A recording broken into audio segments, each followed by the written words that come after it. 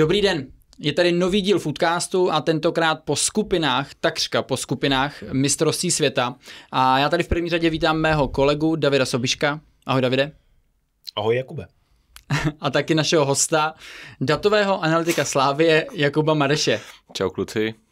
Věřím, že teďka ten úvod byl eh, lepší, protože už ho předáčím po třetí. Eh, ale pojďme si říct, že... Dobře, se sám prásknu, protože bych to udělal já jinak.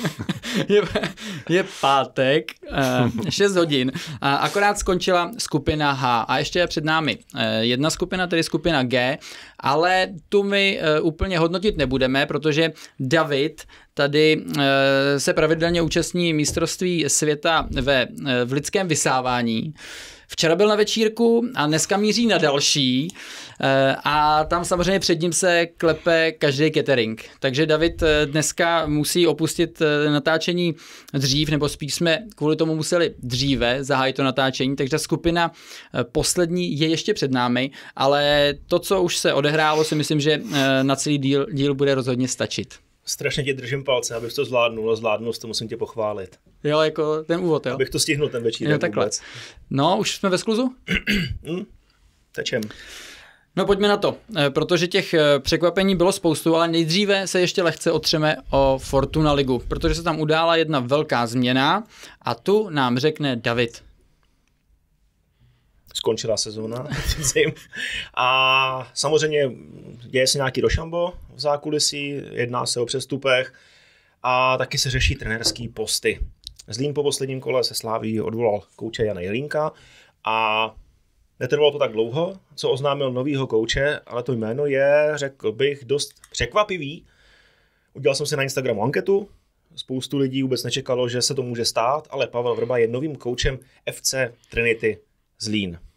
A dáme prostor nejdřív Kubovi, aby nám řekl, jestli je to dobrý nápad, jestli Pavel Vrba zapadá do herního systému Zlína. Předně bych asi řekl, že Pavel Vrba bude mít spoustu práce, protože jeho týmy eh, byly známy vždycky tím, že eh, jsou kombinačně postavený, že chtějí mít eh, hodně jako výstavbu odzadu, že, že tam probíhají nějaký jako rotace ve středu hřiště, které jsou založený spíše na takovým kreativním fotbalu a tady opravdu tu práci bude mít, protože Zlín má čtvrtý nejméně nahrávek v celé soutěži, druhý nejnižší počet kolmic, nejméně smart pasů, ale mají druhou nejpomalejší kombinaci, nemají úplně velké množství kreativních typů, takže jsem zvědavý, jak to k sobě zapadne. Myslím si, že na to, abych chtěl hrát svůj fotbal, tam Pavel Vrba, tak eh, bude muset napnout hodně sil. No a hlavně asi i management si myslím, že mu budou muset přivést nějaké nové koně, protože, eh, jak tady říkal Kuba, tak ty hráče na tu typologii, kterou on byl zvyklý hrát, tam prostě nemá. Uh, nějak se šušká, že by tam mohl jít, eh, co se týká hrotu, Libor Kozák, což vlastně sedí do toho, jak se Zlín prezentoval v těch sezónách předchozích.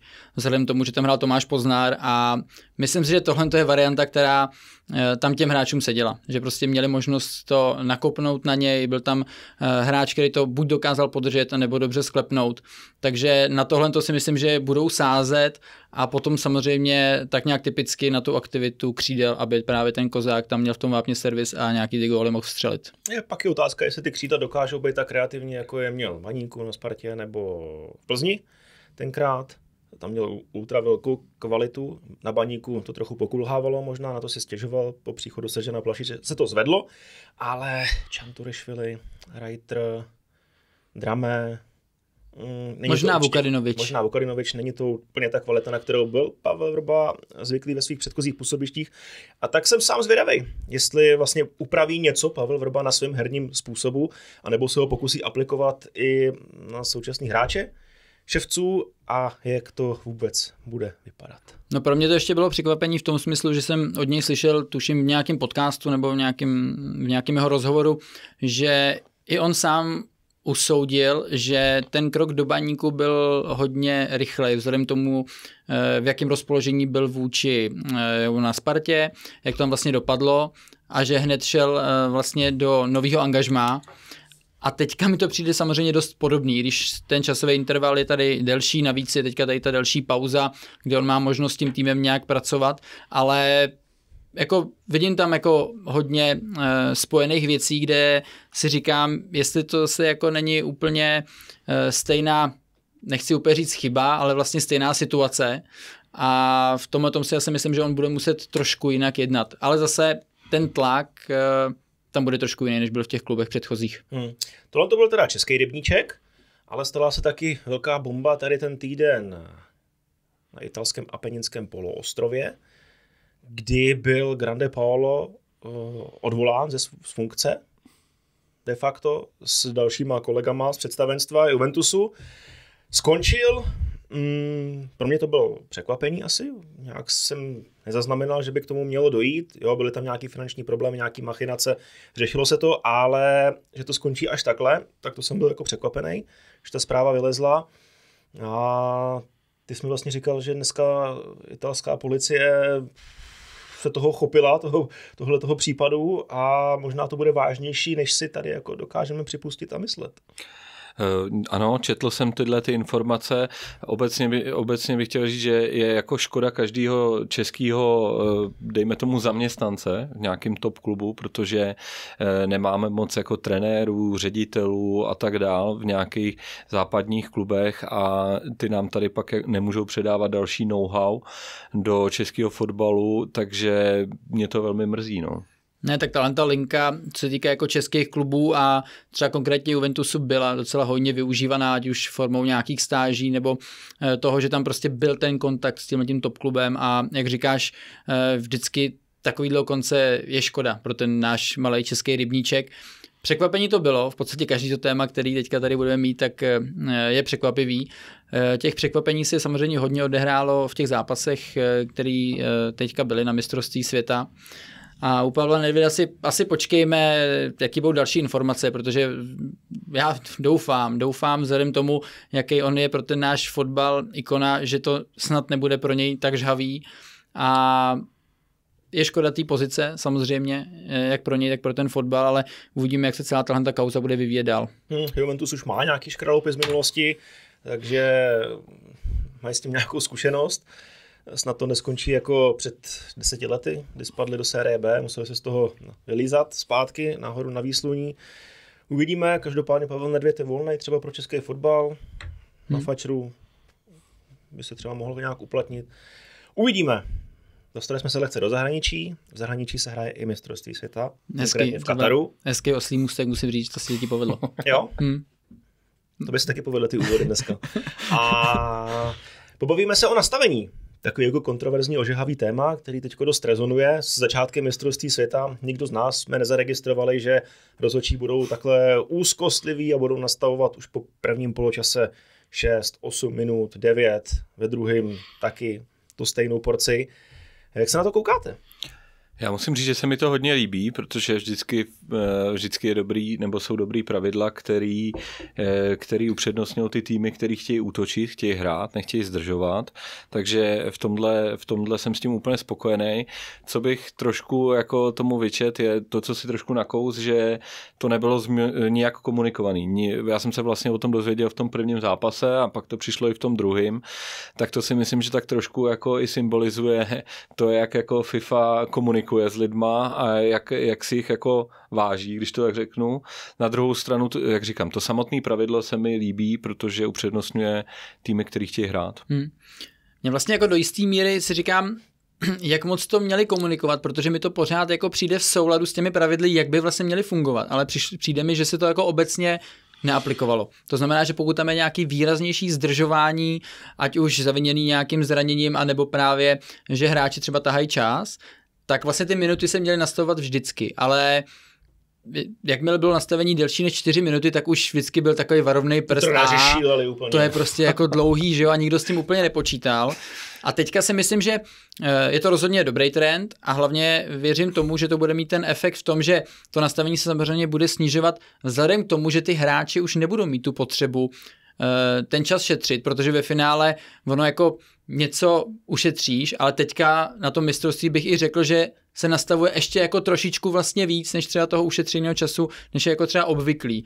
To znamená, že e, vlastně oni sice něco pošetří, ale pro ně to má ten horší efekt, že vlastně se nakonec hraje ještě díl, navíc potom e, ještě větší, ve větší únavě, kde potom ten prostor pro ty chyby je mnohem větší. Takže já věřím, že se to bude aplikovat i u nás, že teda tenhle ten trend nějak zvolený bude. Nevím teda potom, jaký to bude mít problém eh, u nás s tím, když budeme mít dva zápasy po sobě a najednou ten zápas bude o 20 minut delší třeba. Když začnou včas, tak to bude super. To bude stačit úplně bohatě. Jo, jako studia budou kratší, teda musím říct, zkrátím tušku, veď? Ale v tomhle směru věřím, že to bude Jak i u nás. Jste, že pokračuje, se mi líbí. tak já věřím, že jsme si všechny věci vyříkali, kdyby něco bylo a není důvod jako ne, nevěřit v další spolupráci. No, no teďko se jako mám vyjádřit já? Dostanu prostor? Můžeš, no. Jo? Taky se mi to líbí. Jsem z toho nadšený, z toho nastavení. Já bych teda klidně i rozdával žluté karty za zdržování. Kolikrát u golmanů to je pomalu minuta, než vykopnou to je jako šílený a pak v 90. minutě přiběhne rozhodčí jako symbolicky, tak hmm. tady to máš spočítaný, jenže Frér prozdržoval 6 minut zápasu a, a tu žlutou kartu nějak jako akceptuje. No. Ještě jedno téma, my jsme tady během podzimu celkem dost šli do rozhodčích, moc jsme se s nima nemazlili, ale na mistrovství světa vidíme, že to je uh, stejná úroveň taky divný rozhodnutí, kontroverzní rozhodnutí. Nebavím se o offsidech, bavím se o penaltách, o různých přeskoumávaných situacích. A na mistrovství se to se hraje hodně zápasů, ve Fortuna se samozřejmě taky, ale když to srovnám, tak je to pomalu stejný, mi to přijde. Hmm.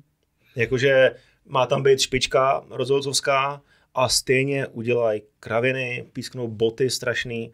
A moc, uh, jak to říct, no, fakt jako mizej rozhodcovský osobnosti. Nevybavím se teď nějaký jako jméno top zahraničního rozhodčího, i v Anglii dělají kraviny ty sudí, ale přijde mi, že ta kvalita jako strašně poklesla, nejen teda jako u nás, vzhledem k nějaký jako obnově sudík, skončila starší generace, teď se vychovává nová, nechme český, český fotbal bokem, ale i na, to, i na té mezinárodní scéně to je jako bída, konferenční liga. To byla tragédie od sudích. Já si jako myslím, že mistrovství světa s tímhle mělo vždycky problémy, že přijeli rozhodčí prostě, teď se nechci nikoho dotknout, ale z těch pomalu rozvojových zemí a, a pískali tam eh, bláznivé věci. Eh, myslím si, že co je dobrý, je, že jsem tam neviděl tentokrát žádný trendy, jo, že by pískali eh, v zájmu nějakých větších zemí nebo tak. Přišlo mi, že ty chyby jsou na všechny strany, tak, takže nevím, upřímně řečeno, přijde mi, že to je problém, který je dlouhodobý s těma rozhodčíma na FIFA. Mně vlastně obecně přijde, že teďka ty rozhodčí to mají těžší v tom, že se všechno mnohem víc rozpitvává a že asi ani bych vlastně úplně neřekl, že ta kvalita obecně těch rozhodčích jde nějak jako dolů, ale každý ten zákrok, každá ta situace, eh, která nahrává tomu, že se to mohlo být posuzený tak nebo tak, tak prostě na těch sociálních sítích prostě jede, jede a to je vlastně podle mě to, co nás jako nejvíc eh, na tom potom eh, bere to, že ty výkony jsou jako horší. Já si myslím, že jsou vlastně stejný, že i tehdy tam prostě jako byly chyby, ale teď je to mnohem víc na očích, no. Hmm. Ne, ne, nemyslím si, že úplně, jako já ne, neříkám rozhodně, že ty jejich výkony jsou jako bezchybný, ty chyby tam jsou, ale ty chyby tam za mě byly i dřív. Jo, dobře. A je jich asi 16 teď na hřišti, nebo okolo hřiště. Jo, se tak... jako dost zvýšilo, nabopnalo. Hmm. Na, náklady na rozhodčí teď bych nechtěl platit. Je pravda, že, je pravda, že jako v, když vezmeme, kolik jich tam je, tak se to jako moc nezlepšuje, ale ani ne zase, že by se to nějak moc zhoršovalo. No. Hmm. OK, to byly takové jako tři aktuality, které se tady udály od našeho posledního foodcastu. Hmm, půjdeme k tobě, Kubo, Kuba Mareš. Pletou si tě třeba s Kubou Marešem, který kopal za doklu za Teplice? Tvůj bývalý spoluhráč. Za Spartu. Za Spartu. Mm, ne, vůbec, ne? popravdě řečeno vůbec. Ne, Nikdy ne, jsi ne. s tím nesetkal? Ne, ne, ne. Že jako přijde na jednání Jakub Mareš a je to úplně jiné, než se třeba myslel lidi.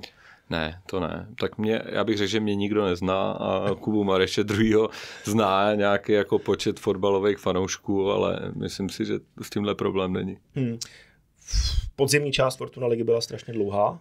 Hafo zápasu, do toho poháry. Vy jste vlastně začali, měli jste druhý, třetí, čtvrtý předkolo, takže jste si moc nevydechli. Možná jedno, maximálně dva zápasy v týdnu byly takový, že nebyly pro vás, hmm. jinak jste hráli furt jako víkend, týden, víkend, týden. Říkal jsi po sezóně, že se na mistrovství světa vykašleš? No těšil jsem se hodně jako na ten odpočinek, ani, nebo takhle, není to, že bychom teďka nic nedělali, že jo, tak teď se přesunulo to těžiště činnosti jinam, to znamená třeba ke zpětné analýze, víc ke scoutingu a tak dál, ale je fakt, že taková ta každotýdenní rutina, kdy v pondělí začínáme dělat dalšího soupeře a tak dál a tak dál, tak ta je daleko menší a teď je čas na jiné věci a dýchá se nám trochu líp. Eh, já mám taky takovou otázku k tomu jednu. Nechci samozřejmě úplně detailně znát, abys nám tady řekl jako vaše know-how s tím, jak eh, scoutujete hráče a tak, ale spíš, no, bylo by to dobrý, no. aby se jako trošku přiblížil ten proces. V podstatě, eh, když teď si řekněme, potřebujeme pravý křídlo mm-hmm. a ber to tak, že nemáte nikoho jako vyskautovaného předtím, tak jak by ten proces vlastně fungoval? Jo, ten úplně vstupní, tak to přijde buď jako od scoutů, nebo třeba, třeba od nás jako z datové analytiky. Uděláme si takový jako první ček, to znamená vyloženě si vyjedeme toho hráče eh, v datech, vytáhneme si nějakou naší kartu automatizovanou, kdy ten hráč musí jako splňovat nějaký úplně základní parametry, jo, typ, který asi bych eh, řekl, prostě musí se hodit do České ligy soubojově, musí, mít, eh, musí, zvládat, musí zvládat nějakým, třeba když je střední obránce, tak nemůže být špatný ve vzduchu a tak dál a tak dál. A když projde tímhle tím prvním čekem, který ještě není nějak extra podrobný, tak to jde zpátky jako ke scoutům a ty toho hráče jako fakt detailně prokoukávají a jde to jakoby od jednoho scouta k dalšímu a ten hráč musí dostávat furt jako zelenou a když už dostane od všech, tak, tak zase se na něj podíváme hodně podrobně datově a dáme ho jakoby eh, realizačnímu týmu, který, který, potom, eh, který si potom ty hráče vybírá. No a já hmm. vím, že třeba těch metrik je samozřejmě hodně, ale když bychom vzali, mm. jak jsem říkal, to křídlo, tak eh, řekněme nějaký ten algoritmus, nějaký té schopnosti toho hráče, který je pro vás jako důležitý, na co tam přesně jako koukáte, protože samozřejmě, když se podívá fanoušek, tak se podívá, kolik dal zápasů, kolik dal gólů, kolik měl Aček a jako úplně o moc víc se on toho dozvědět nemůže samozřejmě bez nějakých hmm. těch systémů, ale je tam jako něco, když to vstáhnu konkrétně na Slávy, že si řekneš, uh, OK, tak my u těch hráčů sledujeme tohle a je to třeba něco, co úplně my nejsme schopní uh, bez nějaký právě analýzy uh, jako vyzjistit, ať už třeba z internetu nebo tak? No, myslím si, že to bude jako u všech podobný, takže asi nebudu prozrazovat žádný velký slavistický know-how. Bavíme-li se o tom křídelním hráči, tak prostě nemůže být pomalej nikdy. Dřív, to, dřív to třeba datově nešlo úplně zjistit, protože neexistovaly jako jedno, sjednocený datový data, data databáze jakoby běžeckých metrik, to už se jakoby vyřešilo v poslední době, takže to jako věc číslo jedna. Samozřejmě prostě na křídelního hráče pomalýho vybírat nebudete. No a pak už, pak už záleží. Já třeba osobně, když budu mluvit za sebe, tak já hodně preferuji hráče, kteří jsou hodně ve hře. To znamená, sleduju hodně, jak, kolik přijmou nahrávek, v jakých pozicích, kolik, kolik samozřejmě zkoušejí jedna na jedna a takovéhle věci, to už samozřejmě dělají asi všichni stejně eh, opravdu třeba specifikum moje, bych řekl, je, že hodně, hodně analytiků a lidí a tak sleduje, jakoby, sledujete klíčové nahrávky, že jo, průnikovky a expected asistence a tak. No. A co mě jako hodně zajímá u hráčů je, jak umějí přijímat nahrávky, jak přijímají tyhle ty průnikovky, jak přijímají progresivní nahrávky, jestli je umějí nabírat mezi řadama, jestli si umějí udělat dotyk eh, nahoru. A to my si jakoby vememe ty metriky a uděláme si z nich nějaký ratingy. To znamená, dáme každý té metrice třeba jinou váhu a e, smotáme to do sebe a udělá, pak nám z toho vyleze nějaký rating, který nám to zjednoduší. Jo, ale pak stejně samozřejmě je to na klukách, na skautech, že to a i e, dalších jako členech, který tohle musí dokoukat, protože ty data prostě musí mít vždycky nějaký kontext. Mm-hmm. A kdy, jo, tak můžu ještě? No, uh, to uděláte, jo, uděláte tady vlastně, jak říkáš, tady ten rating. Uh, v jaký fázi to jde k realizáku? K realizáku to jde, když v momentě, kdy jsme si jakoby mm, převážně jsme přesvědčení, že ten hráč může být pro nás zajímavý, jo, mm. ale samozřejmě poslední slovo nemáme, spíš se snažíme jim hledat jako další varianty, aby jich měli co nejvíc, protože ve finále prostě když se s tím týmem uvnitř a trénujete ho, tak to prostě vidíte jako nejlíp, co přesně tam potřeba dodat. My si to jako nějakým způsobem snažíme co, co, nej, co nejvíc, co nejlepších variant najít. Mm-hmm. Jsi zmínil jeden na jednoho. Mm-hmm. Chtějí to ale vůbec trenéři v České lize? Mně přijde, že jako trochu moc ne. Eh, teď jako, já bych řekl, že to chtějí, ale je to vůbec jako problém českého fotbalu velký, eh, jako u mládeže a tak dále, že třeba na těch křídlech, když se podíváte i na mládežnické reprezentace, tak prostě těch hráčů, který umějí dělat jeden na jednoho, máme strašně málo a je to velká bolest. Mm-hmm. Napadlo mě ještě, kdyby byl třeba podej o 10 let mladší, prošel by u vás? Tak hodně by se mi líbil ten centr, jako, ten byl mm. dobrý. A asi by se mi líbil, myslím si, že běhal v dobrých intenzitách jako jo, v tom zápase. Hmm. Neřekl bych, že úplně jako tam byla sprinterská top speed, ale dobrý intenzity bych řekl, takže Já to by se mi líbilo. 35,5 jsem měl. Jo, Hmm. Jde o to taky, kolikrát jakoby zopakuješ, jako jo, za ten zápas. Já musím říct, že jako v intenzitách, protože to bylo tehdy, když já jsem hrál, tak eh, k nám se už ty, ty čísla jako dostávaly, měli jsme ty vesty, a nebo aspoň to chodilo právě z Instatu, kde to samozřejmě nebylo extra přesný, ale v nějakém tom dlouhodobém měřítku už si z toho dokázal vzít, jestli uh, prostě běháš dost a viděl si uh, tu intenzitu v porovnání s tou metráží, kolik bys měl mít cca procent v té nejvyšší a potom v té lehce nižší a občas se k nám dostaly nějaký čísla třeba z Premier League, takže jako ty si věděl, kam by se třeba, jako když to řeknu, měl dostat, ač ta liga samozřejmě potom je jako jiná, ale já jsem vždycky věděl, já už si přesně ty čísla nepamatuju, že bylo nějakých třeba 12 nebo 14 mm-hmm. toho bylo a tam jsem si vždycky říkal, že když jsem se tam dostal, takže jako běžecky to bylo dobrý. Jako to, že jsem pak nepřihrál na 5 metrů, jako byla věc druhá, ale běžecky jsem věděl, jako že jsem nějaký ten svůj cíl splnil. A teď to vylepšil na fotbalku, už to zvládneš.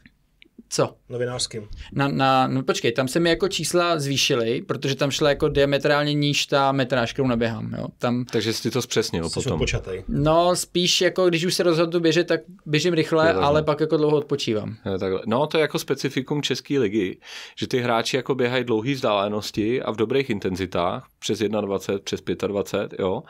Ale pak, když se podíváte samozřejmě na anglickou ligu, tak oni eh, ti budou malinko oponovat, oni, oni jako běhají míň, v anglické lize než český. No to já jsem říkal, že běhají míň, ale mají vyšší intenzitu. A pak vystře... No, intenz... záleží, čemu říkáš intenzita teda. Já to říkám tomu, kolik uděláš metrů třeba přes 25 hmm? a tak, tak to oni jako naběhají míň než český hráči. Ale, v... ale pak jako vystřelej do strašné rychlosti, který my vůbec nechápeme. A naběháme to proto, víc proto, že máme víc ztrát. Jo, takže mm-hmm. samozřejmě musíme běhat nahoru dolů. Třeba když se díváte na druhou ligu českou, tak tam ty kucí naběhají taky strašný jako vzdálenosti, protože to postrácejí hrozně ty míče. No. Mm-hmm. Teďko podej vlastně dal příklad pravého křídla eh, nějakého. Eh, máte nějaký vzor, nějaký prototyp ideálního křídla pro Slávy? No, tak vždycky se, jsme se jako koukali na ty, který u nás uspěli typologicky, že jo, samozřejmě, eh, který v minulosti, v minulosti eh, za nás hráli dobře, ale jako on každý hráč je jiný, jo. A když se podíváš do těch dát, tak prostě jako Sima tam vypadá jinak než Olajinka, když si řekneš, že typologicky oba silný běžci, dobrá palice, tohle, ale je to hodně specifický a jako najít dva stejný hráče, já to třeba nemám rád, hodně, dat, hodně datových firm vám říká, eh, prodali jste olajinku a my vám najdeme podle toho mustru někoho stejný, stejného nebo podobného. Já to nemám moc rád, každý hráč je jako specifický a eh, čím víc si jako stanovíš metrik, který chceš jako aby zopakoval ten hráč, tak tím se dostáváš víc do slepý uličky. Spíše lepší podle mě sázet na základní principy, a pak samozřejmě strašně dokoukat. Jako. Hmm. Ten, vlastně ty data jsou dobrý jako v tom, že vám udělají filtr z milionu hráčů na 25, ale pak vám prostě jako nenajdou to, že ten hráč je ten střípek do té mozaiky. Na to musí, to musí už pak kucí s tím okem. Hmm, hmm. No, to je pravda. Navíc potom se ti ještě vyselektuje, co se týká potom nějakých eh, finančních možností, reputací klubů nebo té ligy, že jo? protože ono si jako můžeš najít hráče, který ti do toho jako skvěle pasuje. Ve finále bys to klidně možná zaplatil, ale on samozřejmě nebude chtít třeba jít jako do České ligy. Jo. To je, myslím, že potom ta selekce, to síto tam je potom jasný a ono těch hráčů za tu sezónu třeba, když to takhle skautuješ, tak ti si na tu pozici, třeba když to řeknu na Slávy, můžou být třeba dva, tři, který si schopný jako oslovit a možná zkusit jako získat, nebo? Jo, eh, určitě jich není, to jako můžu říct, asi to není žádný tajemství. Eh, než jsem tam třeba přišel, tak jsem si myslel, jako, že na každou pozici musí mít 10 20 hráčů a je to jako daleko nižší číslo. To fakt jako ty hráči těch tolik není eh, a samozřejmě pak sledujete i tu mentalitu jako těch hráčů na hřišti a tak a to vám prostě data nespočítají. Hmm. A ještě jestli můžu jednu věc, eh, na jaký trhy se vlastně jako zaměřujete, kde jako cítíte to, že OK, odtud toho hráče, když klub jako z reputací Slávie, evropský poháry a tak, eh, tituly, tak tady když oslovíme, tak jako máme nějakou šanci na to, že on jako kejvne, že to prostě pro hmm. ně bude výzva. Tak mimo top 5 soutěží pochopitelně, jako i třeba druhá Francie je složitá, ehm, nevím, jak je to druhý Španělsko, my se já s dovolením jako odpovím obecně, nic nebudu mm-hmm. říkat úplně eh, soutěže. My se hodně, já, nebo já se hodně koukám na intenzitu té soutěže. To znamená, já mám třeba jako rád chorvatskou ligu, ale e, že bychom o tam teď přitáhli kluka, e, je pro nás jako velmi složitý, protože si neumím představit, že zvládne právě ty metry ve velké intenzitě a zároveň udrží tu přesnost a kvalitu potom na tom balónu, jo? že pak pro ty kluky je to třeba šok a, a je to těžký pro ně zopakovat. Takže já bych řekl, e, vybíráme to podle hodně podle intenzit, nebo já si myslím, že to vybíráme podle intenzit a potom a potom samozřejmě, aby jsem k nám chtěl jít, no, ten kluk. No. Hmm. A to už je věc, kterou já jako neovlivním hmm. a neřeším, jo. Hmm. To není moje práce. Hmm. Co je pro tebe nejdůležitější metrika do ofenzivy? Do ofenzivy? To jako říct jednu metriku je těžký, e, já, jako a záleží taky na jaký pozici, pozici no. jo. E, samozřejmě prostě eh, to už je o mých nějakých preferencích. Jako já mám třeba rád útočníky, kteří jsou hodně ve hře, kteří hodně se skakujou, ale zároveň jako trhají v obranu jako náběhama a, vytvá, a jako umožňují tomu týmu, aby ten soupeř musel hrát jako na delším hřišti, takže pak může ten tým víc kombinovat a tak dál. Takže, takže ze světa by to byl jaký útočník? No, tak líbí se mi třeba Gabriel Jesus, líbí se mi Darwin Nunes, to jsou přesně ty kuci, který jakoby hodně pomůžou týmu e, zády, ale zároveň to jako hodně rozbíhají prostě, takže tyhle ty nevím, našli bychom jich hodně. Mm-hmm. Nemám rád, eh, ale to je moje subjektivní preference. Já nemusím takový ty útočníky, co jste je ve vápně a prostě to tam pak eh, dotlačej, to neznamená, že jsou špatný, to je jenom moje subjektivní mm-hmm. preference. Mm-hmm jsi zmínil Chorvatskou ligu. Čím tě tak okouzlila? Ne, no tak to je spíš taková jako celkově ten region mám rád. Jezdili jsme tam od malička s rodičema na dovolenou, tak jsem to tak nějak vždycky začal víc sledovat. Na Makarskou. No, mám rád jako Hajduk Split a, a sleduju to docela jako sleduju pravidelně zápasy té ligy, jsou tam skvělí fotbalisti, eh, je to trošku jako ví, že v průběhu hry se stihnou třeba na svači, dát si cigáro, jako, jo. A... Proč mluvíš o Livajovi? pak, dá, pak dá dva plus jedna a celý split se mu klaní a jde domů, no. Tak to je, dá, dá si cigáro. Mimochodem pro ty, kteří se koukají na YouTube, tak Marka Livaju si přinesli na tričku. Jo, je to, je to taková kultovní postavička prostě toho splitu, no. Eh, teďko i během mistrovství světa vyšel vlastně článek, myslím si, že na e-sportu to bylo, o Livajovi, hezky, hezky napsaný. Když se řekne tohle jméno, asi legenda Splitu, už teďko možná, Máš nějakou jako historku, nějakou story, kterou ti třeba vyprávěl, když tam byl? Ne, já vždycky konkrétní asi ne, ale jdou tam takové zkazky, že že chodil do Torsidy, do, tý, do toho kotle za bránou a že kouří od malička a jak bylo v tom hezkém článku, takže chodí na ten plácek, což je za přístavem takový plácek betonový, kde je mimochodem neskutečná úroveň toho, zápa- toho fotbalu, tam hrajou jako vynikající fotbalisti. Viděl jsi to? No, neviděl, ale vyprávěli mi o tom hmm. jako kluci že to je jako strašná jízda, že se na to chodí koukat lidi, že to je prestižní, že se tam jako dohrávají ty souboje, že to jde kolikrát možná jako větší tempo než pak na Hajduku večer. Jako. A slyšel jsem teda, že ten Livá je schopný si tam jít zahrádem před zápasem jako bez problémů, tam běhá jako odpoledne, eh, dá si tam pivko, cigáro a pak na to vyrazí a většinou to rozhodne. Jako, no. Karlovačko nebo ožusko?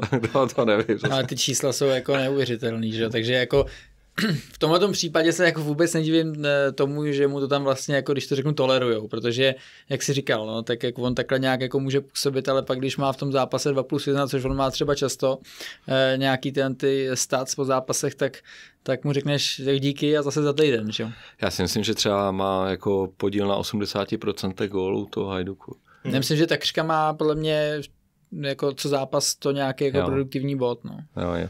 Druhá věc je, že těžko může někdo jiný uspět, když na něj musí všichni běhat, protože je tam na vycházce, jo, ale tím jako prostě je to fantastický hráč. Jako. A když vidíš mladého Chorvata, jak si tyká s míčem, jak ho to baví, hmm.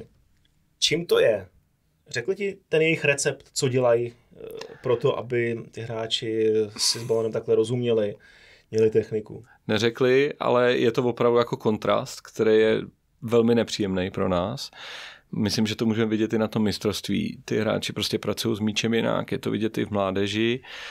A e, jako je to něco, o čem já jsem o tom třeba žádnou knížku odbornou nečet, ale obecně ty Balkánci jsou neskutečně šikovní v míčových sportech, mají skvělé figury i teda. E, já, když zase můžu říct, tak když tam jsem třeba na nějakém zápase nebo tak jsem ve Splitu, tam jsou prostě hřiště třeba betonový nebo tak, plácky mezi, mezi panelákem a ty jsou furt plný. Hmm. Večer prostě rozsvítí a hrajou dál, hrajou basket, hrajou házenou, hrajou fotbal, prostě to tam látějí a myslím si, já nevím, no, já tady u nás ty plácky plný nevidím. Mají drahý internet, no, to je daný, no.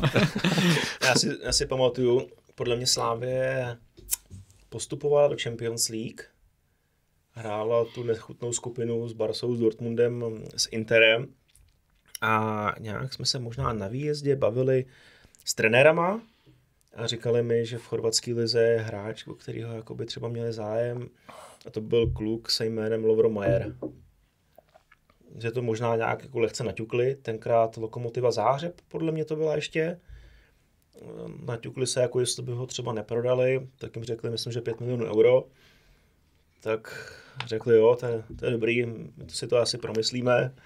A pak šel do Dynama, a z Dynama ano. do Ren. No, asi za 18 nějak, třeba. Že jo. No.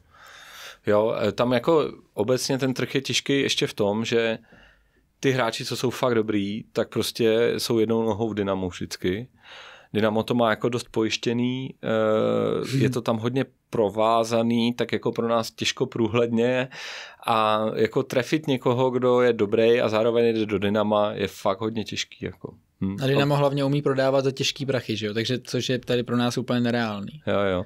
Ty hráči už mají prostě vybudovanou pozici od těch, co tam byli předtím, že jo? To známe my z, z té doby jako 2004 a tak. Úplně přesně mě to napadlo. My jsme tu reputaci vlastně měli taky, kdy ty naši hráči byli jako extra žádaný, protože tím stylem který byl, troufnu tvrdit, u nás jako výjimečný, že potom v těch ligách jsme byli něčím zajímavý právě, že jsme dokázali uh, hodně běhat, takticky jsme na tom byli slušně, ale byl si, byl si prostě poctivý. A teďka v tom, tomhle fotbale už je vlastně jako poctivý každý. A tady ta naše výhoda, kterou jsme my dřív měli oproti, eh, když to řeknu třeba, nechci úplně zbytku Evropy, ale nějaký té části, čím se mohlo být zajímavý, tak to se prostě smazalo. A oni si myslím, že právě teďka mají tu reputaci těch jako uh, dynamických hráčů s dobrou technikou a to Dynamo umí prostě fakt jako prodávat za, za velký peníze a právě proto si myslím, že ten trh je tady jako pro nás, pro Čechy je docela zavřený. No. Jo, a to Dynamo je na to hodně zaměřený. Tam prostě, když budou mít dva hráče stejně dobrý, jednomu bude 17, nebo bude trošku horší, tak bude hrát ten 17 letý prostě, aby ho speněžili. To oni prostě takhle dělají. Mm-hmm. V, v kolika letech je pro Chorvaty hráč starý? U nás je mladý 23 třeba, Jak je to v Chorvatsku? No, to je jako těžká otázka, protože třeba Hajduk má extrémně starý tým jako a e, vymlouvají se na to, že tam je tlak města a fanoušků a že to mladí hráči jako nezvládnou, což je takový zvláštní, ale je fakt, že prostě třeba když e, Baturina, e, záložník, záložník Dynama byl dobrý v 17, tak hraje prostě v 17 a, a víte dobře, že byli ty hráči, co dneska jsou v repre, tak ty tam hráli třeba v 16 letech.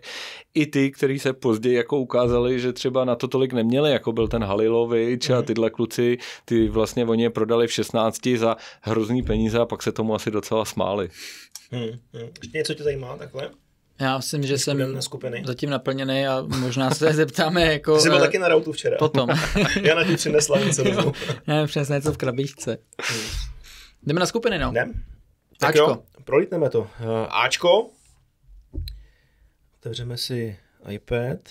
Skupina, ve které bylo Nizozemsko, Senegal, Ekvádor, Katar. Takhle takovým pořadí to skončilo. Mm, že Holanděni vyhráli, s tím se asi jako dalo počítat, ale že Senegal půjde ze druhého, to už je možná překvápka. No a u toho, u toho Nizozemska bylo to takový, že Nepřesvědčivý. Mm, přesně tak. Jako vlastně byli, byli první, což jako jim to stačí. Oni ten jako cíl splnili vlastně ve finále až na nějaký výjimky, třeba jako Německo, tak se ten turnaj rozjíždí až v, v té další fázi. Takže oni ten prvotní cíl splnili, ale že by to byla nějaká jako pastva pro oči nebo něco, nad čím jako oni sami asi úplně žasnou, to tak není. A Senegal Dá se říct, že překvapení, ale v podstatě jako bylo to o, to, o ten druhý flag mezi nimi právě a Ekvádorem a Ekvádorci to úplně eh, nezvládli. No. Je bez ho to zvládli. Hmm, hmm. Tam asi hodně pomohlo, že tě Davide trenér poslech a dal tam Gakpa. Hmm. Postavil to na něm. Je vidět, Teď se ukázalo, že je, Kuba poslouchá. Je vidět, že hlavně trenér Holandska je věrný posluchač. A... jo, já se taky všiml, teda, že to byla jako dobrá poznámka od Davida, musím ho pochválit. Teda. takže, takže jo, ten byl no, asi nej, nejlepší hráč té skupiny. No. Já, já asi jako za mě Katar zoufalej. A tak to si ale dalo čekat, ne? Já nevím, já nevím. Já jsem si říkal, tak asi tam jako se zahraničníma trenérama pracujou. Já se přiznám, že neznám jako rozdíl mezi Saudskou Arábií, saudským fotbalem a Katarem, ale tady v těch zápasech byl teda diametrální. Hmm. No, Holandsko první, Senegal druhý. Znamená to, že v osmifinále půjdou na první druhý tým ze skupiny B. První Anglie, druhá Amerika, třetí Irán, čtvrtý Wales. Anglie, Amerika, s tím jsem tak trochu jako kalkuloval i tady v tom pořadí. Zaskočil mě Wales teda. Možná, možná. Nečekal jsem, že by postoupil, že by nějak jako extra zlobili, ale že dají jeden gol a že se budou prezentovat tím Blivajzem. Hlavně ten poslední zápas, jako, eh, kdy oni to samozřejmě extra prožívají s Anglií, tak, eh, tak ten jako jim hodně nevyšel a Anglie si myslím, že, že ukázala, kdo je na hřišti pán. Takže jako Anglie taky postoupila, hlavně Anglie si vlila eh, jako sebevědomí dožil tím prvním zápasem, že jo, kdy prostě vyhráli, to bylo kolik to bylo? 6-2. 6-2, že jo. A. A, no, a to je fakt, nedošlo, no. no. to je fakt jako to ti prostě vždycky pomůže na ten, na ten první zápas, když víš, že najednou si vlastně jako potvrdil tu roli toho favorita a myslím si, že jako to z nich hodně, hodně spadlo. A potom i třeba Rashford, ač třeba v United se mu tak nějak extra nedaří, tak tady ukázal jako hodně zajímavé věci takového toho Rashforda před covidem, kdybych to takhle řekl, že tam byl dobrý, Potom ten covid si myslím, že s ním trošku jako zatřás, eh, tam hledal formu, jak on, samozřejmě tak jako celý United a, a tady v těch zápasech se mi jako moc líbil. No. Čeká si o smlouvu, no. Jsou kreativní podpis. Souhlas, já bych řekl, že to ještě Anglie? dlouho před covidem nehrál takhle dobře a je skvělý. Jako. Jaký pocit máš z Anglie? No, jako, jaký z ní mám pocit? Tak Pody říkal, jak, jak jako vypadá dobře. Za mě nevypadá špatně, na papíře je neskutečná, to je jasný. E, jako na koukání to moc není, mi přijde, že to je takové jako sterilní eh, přechod do útoku, moc mě to nebaví, abych řekl pravdu. Není to takový, třeba když hráli s tou Amerikou... nevykradeš teďko, protože mám nápad. Když no. hráli s tou Amerikou, tak mě prostě bavilo ty Američani rychlejší pressing, rychlejší přístup k tomu a tak dál, ale ta kvalita prostě v té útoční trojce je enormní, když ten Hurricane seskakuje a ty křídla chodí za něj, eh, Pody říkal Rashford, za mě má jako fantastickou formu a teď bych měl jako bolehlavko tam postavit na ty křídla. Rashford, Sterling. Vůbec nevím, jako asi nejhůř vypadá teďka Sterling, ale to je jakoby zas dlouhodobý hráč, na který on staví hodně ten Southgate. Jestli Anglie jakoby na něčem vypadne, nebo bude, bude mít problém, jak si myslím, jako že eh, ten eh, prostě v tom playoff ty trenéři jejich, oni hrajou furt stejně po každý a myslím si, že to bude čitelný pro dost soupeřů, ale uvidí. Mně přijde Anglie taková jako overrated, no, že jako... To je velká myšlenka, David, já si Ne, ne, to ne, ne, připravuju. ne, počkej, počkej, počkej, hele, máš tady jako skupinu blbej, pitomej, Wales, Irán a jeden jediný zápas, těžší, je Amerika, což není jako Hmm. nějaký velký hegemon a hraje s ním jako 0-0. Jo, takže ty si jako neporazil jako nikoho extra silného. Senegal v osmi, osmi finále, no. Ale to neznamená, že tvůj fotbal jako nebude fungovat proti těm silným týmům, jo, já nevím. Já jenom jsem chtěl říct, ten Wales úplně na začátku, nemůžu si to odpustit, jo. Uh, Bale a Ramsey, to prostě jako... Konec, Oni konec hráli, Walesu. oni hráli v devíti skoro, já nechci být neúctivý, protože to jsou legendy, skvělí Ale seš, fotbalisti. Jsem, ale fyzicky to prostě nebylo na tuhle úroveň. Přišli jsme o Bale teďko. Hmm. No, já jako, já, já, jako, já Anglii úplně moc nevěřím do té další fáze turné. Díkámu. Jo, jako, že tam, to bylo to, jak jsi chtěl říct? Ne, já jsem to řekl. Jo, takhle. No, eh, tak eh, tam prostě potom, když to tak jako vyjde všechno podle předpokladů, tak eh, narazí na moje francouze, kde věřím, že Francie a Kylian je prostě jako sesekaj, ale bude to těžký zápas. Budu, budu brečet, když jako hodně brečet, když samozřejmě Francie vypadne už eh, takhle ve čtvrtfinále, pokud se tam teda vlastně oba jako vůbec dostanou, to není úplně hmm. daný, ale papírově by to tak jako sedělo, no. Ještě něco chceš doplnit? No, nebyl bych si tak jistý, jako na tu Anglii nikdo, eh, nikdo ji taky nechce, jako každá pozice silná, nevím, tyhle ty zápasy, to už je pak... A počkej, ještě křídla byste teda typovali koho, že nastoupí? Bukayo, to je jasný. Já bych řekl Fo- Foden, já bych chtěl Foudna a Rashforda. Mm, já bych řekl Saka Rashford, ale tak jako Bukayo je číslo jedna, jasný. Hmm. My Vidíme. jsme oba jakoby nezávislí zde. Jo, jo. Arsenal, fanoušci no. To, je Um, Ještě, de- ještě Dešámpla, to přijde ze Salibou. Jo, potom. nás klamal ve Hele, hele, Cčko, to byla skupina, ty vole. Argentina, průšvih v prvním zápase, zmátořili se, dvě výhry. Výhra ve skupině, Polsko, Mexiko, poslední zápas, minuty, žlutý karty. jsem Jo, přepínal. to bylo heclý, tyjo, to bylo zajímavý a nakonec postoupí Polák, tyjo.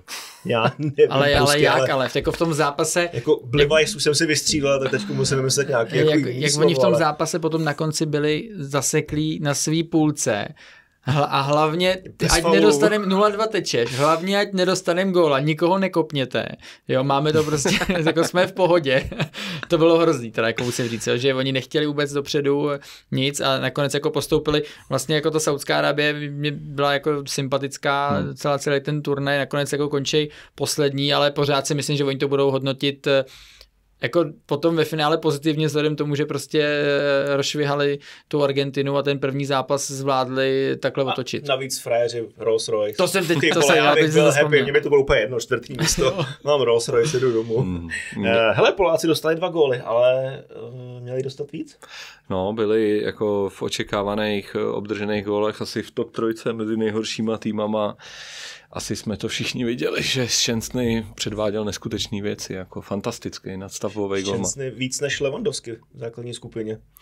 Určitě, no. Na druhou stranu prostě to na něj šlo, zatímco Lewandowski tam stál chudák odříznutý, Argentinci se na něj po, pověsili, no. normálně eh, frajer šel pro balon klidně do půlky půlky a hned ho sekli. Hele, on neudělal jediný dotek s míčem bez souboje. To je pak těžký. jo. Ne, to přesně, já si možná vybavuju stejný moment, jak chudák to dostal u té levý linie jejich, ještě těsně jako u půlící čáry. Jeden před ním, druhého naháněl a třetí ještě ze středu. E, trošku do něj strčili, vzali mu to a chudák jako neměl co dělat, protože ta podpora e, toho zbytku týmu byla, byla pro ně jako nulová. no. No, byl jsem z toho zklamaný. Poláci mají na papíře docela solidní manšaft, mají hodně hráčů v Itálii a tak dál. A jako zase, dneska jsem hodně nepříjemný, mám nabito eh, takticky, jako z pohledu jako výstavby hry a tak mi přišel jako jeden z nejhorších týmů na celém turnaji. Hmm, takový na náhodu to je dost. uh, co udělali Argentinci jinak po prohře v prvním zápase? No, já bych řekl, že po druhým teda, jako mě přišli hrozný i s tím Mexikem, nebyla tam intenzita vůbec, oni teda v tom druhém zápase už tam nebyl, ale v prvním zápase oni tam dali toho Papu Gomeze, takže oni měli tři kluky přes 34 nahoře, jo, i v tom středu zálohy vsadili vlastně na to nejzkušenější a e, ta hra byla taková sterilní, bez intenzity a tak dál. Pak v tom druhém zápase to trošku změnili s tím Mexikem, Taky to podle mě dlouho nebylo dobrý a vykoupili je Messi. No a v tom třetím už to byla úplně jiná Argentina. Jako, e, já jsem koukal i na data, byly jednoznačně nejintenzivnější, co se týče pressingu ze všech týmů. E, byla tam ta změna, e, byla tam ta změna, že šel do hry Enzo Fernandez na tu šestku, hodně toho rozděloval ze zdola, takže Messi nemusel chodit tolik pro balony dolů. Byl tam ten Julian Alvarez, který to hodně rozběhal nahoře. Takže jednoznačně jako našli svoji tvář. Eh, chtěl bych ještě, vyjmeno, eh, ještě vypíchnout toho pravýho beka Molinu, který tam běhal jak blázen, eh, hledal si dobře mezi prostory nebo i křídelní prostory s Dimariou, takže podle mě našli tvář a teďka bych je nechtěl potkat. Hmm, hmm. hmm. No, jako hlavně ten pressing po té ztrátě míče, jak jsme se bavili, to bylo... To byla šikana. To bylo fakt, to bylo šíle, byl hnus, jako, ty jsi, jako, já úplně cítím, že ty Poláci nechtěli ten míč v tu chvíli, jo. protože věděli, že to bude takový tlak a že hlavně, jak eh, si myslím, že na tom potom už nebyli jako dobře fyzicky v průběhu toho zápasu, jak jako pořád jenom hasili, co šlo, tak e, neměli tu nabídku, že jo. Takže... A se takový zápas někdy? Jo, spoustu, spoustu zápasů, jako, spoustu, protože většinou proti byl nejhorší favoritům. Ne, když jsme třeba hráli i proti Slávy, když tady máme Kubu, e, když se získávali jako ty tituly a tak, tak si věděl, že na tebe jako přišel namazaný stroj, že tam byl já nevím, Vláďa Coufal, Souček, tak si věděl, že budeš, že oni to dokážou si krásně obehrát. V podstatě uh, tím postupným obehráváním tě zatlačili k vápnu, ty jsi tam jako koukal jenom kolem sebe, kde se kdo myhne a co můžeš jako zastavit. A když jsi získal míč, tak to, tak to k té bráně měl 80 metrů, 75, no a než se jako s tím rozběh, tak si věděl, že eh, ty jsi sice jako ve slušné pozici, ale ty tví spoluhráči jsou všichni 15 metrů za tebou a navíc mají jako jazyk na vestě z toho bránění, takže to bylo takový, hlavně si věděl, ty už si toho s tím jako šel, ty si věděl, že ten zápas, vzhledem tomu, že Slávě takhle hrál každý zápas, no, ty si prostě Slávě hrála podle stejného scénáře, prostě dokázali být v tom zápase vždycky dominantní, tomu soupeři vlastně jako vnutili ten svůj fotbal a ten na to prostě neměl, jo, takže já jako Poláky jsem v tomhle tu chvíli hodně litoval, no. Mm. To byla tedy skupina C, Argentina první, Polsko druhý, postupující do osmifinále, kde narazí na vítěze a druhý tým ze skupiny D, Francie a Austrálie. Francouzi po dvou zápasech měli jasný postup, víceméně i z prvního místa kvůli skóre. Pak Dešám zarotoval sestavou a průšvih. Náhradníci to nezvládli. Bouchli. Má to něco znamenat? Pro Dešámpa? Nemyslím je to jako nějaký signál, že ty vole, mám 13 hráčů, se kterými musím počítat, ten zbytek je šrot. To si nemyslím. Já jsem se jenom Já jako... jsem kafe, tak jsem naspídovaný.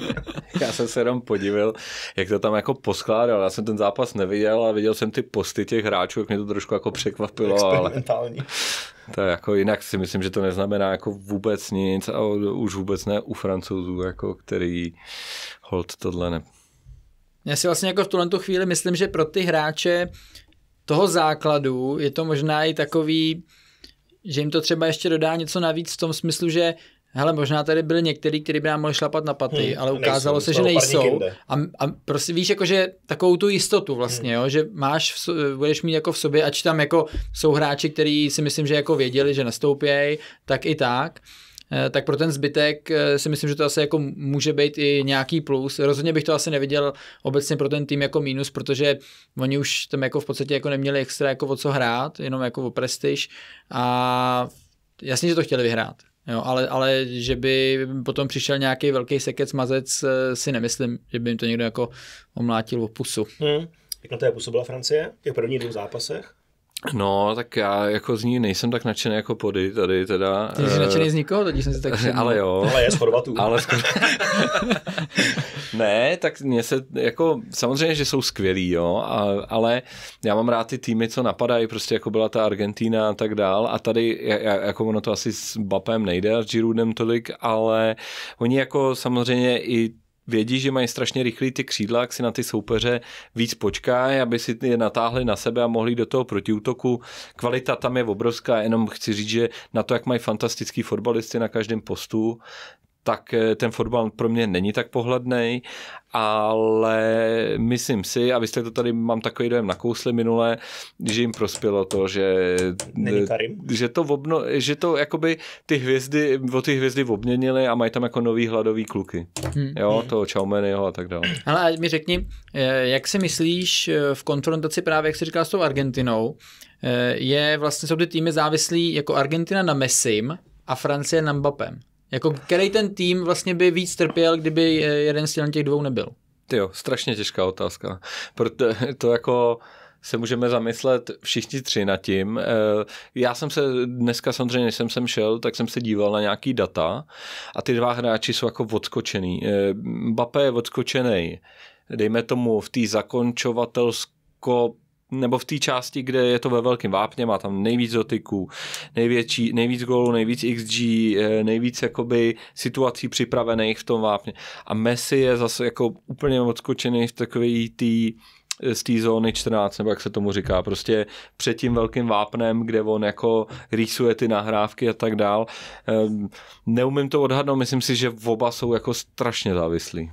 Já si myslím, že více jako Argentina by podle mě trpěla, hlavně třeba ty nahrávky, jo, Messi si bere jako 90% eh, těch eh, jako míčů, který by potom měli do nějaký jako progresivní přihrávky. A mně se hlavně líbí, jak on se to teda zprava navede k tomu vápnu, kdyby měl prostor, asi střílí, ale on to ještě jako třeba 10 metrů od vápna dá takovým tím dloubáčkem na tu zadní tyč. A on to kopne prostě tak, že tam jakmile je hráč, i když je tísněný, tak jako vždycky mu to jde k jeho duhu v tom, že to má potom proti sobě a může buď střílet hlavou, anebo může zakončovat. A tohle to v tom zápase, v tom posledním udělal třeba, já nevím, šestkrát, jo, ale vždycky mu to jako hmm. vyšlo a vždycky, ať oni to třeba tušili, tak za mě je to jako nebránitelná moc jako situace, protože z pozice obránce ty vlastně stojíš dobře, toho hráče máš po svý pravý ruce, ale jakmile to jde přes tebe, jako ten balon, tak ty než se otočíš a vlastně když se otočíš, tak ten balon nevidíš, takže ten útočník má jako tím, že za tebou, tak má jako mnohem lepší pozici a jako já, já si myslím, že Argentina by víc brečela, teda kdyby nebyl Messi, než, než Francie kvůli Mbappému.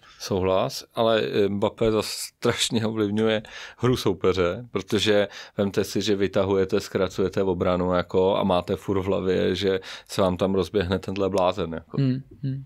Já nevím dál. je to těžký. Bez názoru.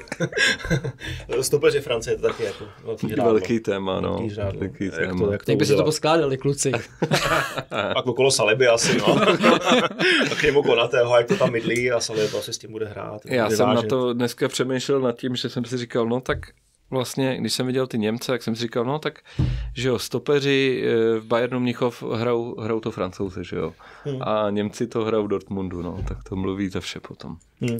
Eh, velkým propadák tady v té skupině jde Dánsko. Poslední místo, skoro 1-3, jeden jediný získaný bodík těžce za očekávání. Jako my, myslím si, že byli tací, kteří je třeba pasovali na černý koně, ale nevím teďka kdo přesně, teda, ale jako slyšel jsem právě nějaký takovýhle hlasy. Jak, jak to vypadalo, Kubo, u tebe? Je to tak, já jsem poslouchal ten váš, ten váš podcast, před, ten díl předtím a říkal jsem si, tak on tam nikdo nebude mluvit o těch dánech, tak vůbec nevědí, co se tam děje. Na Instagram, to je blbec nerozvážný. Ty jo. Říkal, jsem říkal, ty mají výběr prostě a tohle, no, tak jako byl to propadák, žádný ofenzivní hráč jich neměl formu, jako Bravheim neměl formu, Vinta ani, eh, ani nepostavili, eh, Lindström, Lindström, ani, ani Damsgaard, Damsgaard, ani Skoffolsen, eh, měnili to, točili to, nevě, nikdo jako nenašel cestu k tomu, jak se prosadit. No. Hmm. A jako, ale před tím turnajem co se týče jako dat nebo takhle, jako ty, tak viděl jsi takhle, nebo to vlastně bylo jenom taková, když to řeknu, obliba. No spíš ta obliba toho, protože jako to, co se stalo samozřejmě Eriksenovi, tak si myslím, že jako ve spoustě lidech eh, vzbudilo to, eh, že hmm ten tým třeba měli jako potom víc rádi, víc mu fandili, než tomu bylo předtím, tak mě zajímá spíš, jestli jako byli pasovaní na černý koně vlastně jako díky tomu fotbalu, jako čistě. Já si myslím, že jo, že má jako fakt kvalitní výběr jako na spoustě pozic, že, že tam ta možnost byla. Pro mě už trošku bylo varování, když jsem je viděl hrát. Oni hráli, že jo, v Lize národů, jim stačil bod proti Chorvatům, tuším, a prohráli ten zápas, já jsem ho viděl.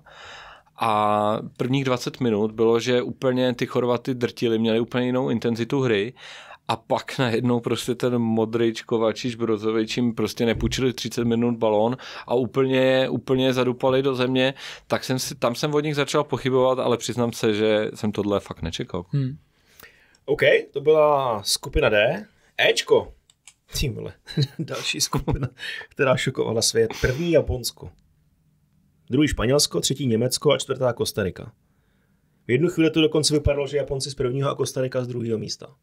To byl, skvěl, jako, to byl skvělý příběh. To, jako, to, bylo fakt to jako, bizár. To byl dobrý dvojzápas, musím říct. Hmm. Jako, to, se, to se koukalo a fakt se to přelivalo. Ty jsi to viděl? Ne, já jsem byl na večírku.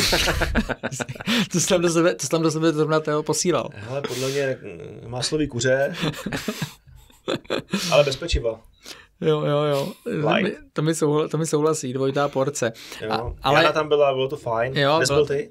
Já, já jsem byl to doma, že... Jedna, víš, ne, já vím, já jsem, jako, já jsem právě jako vzal zodpovědně to, že dneska máme natáčení že prostě potřebuju ty zápasy jako nakoukat, abych tady měl o čem mluvit, na rozdíl od tebe. Mm-hmm. Ale zase aspoň jako nemáš hlad, že jo? Nemám, no. Tak hele, uh, Japonsko první, Španělsko druhý, Německo a Kostarika, a jak si říkal právě chvíli to vypadalo, že oba dva ty velký giganti, se kterými se jako... Mimochodem má to sledoval na, tele, na telefonu. Jasně, no, na tom tvým. Fakt? Fakt? Teletextovým, Jsi zlej. Měl tam 231 Hele, na teletextu jako, Já jsem včera byl tam s Janou, jo. já na něj mám tolik špíny, ale nebudu svině a nebudu to říkat. si nechám.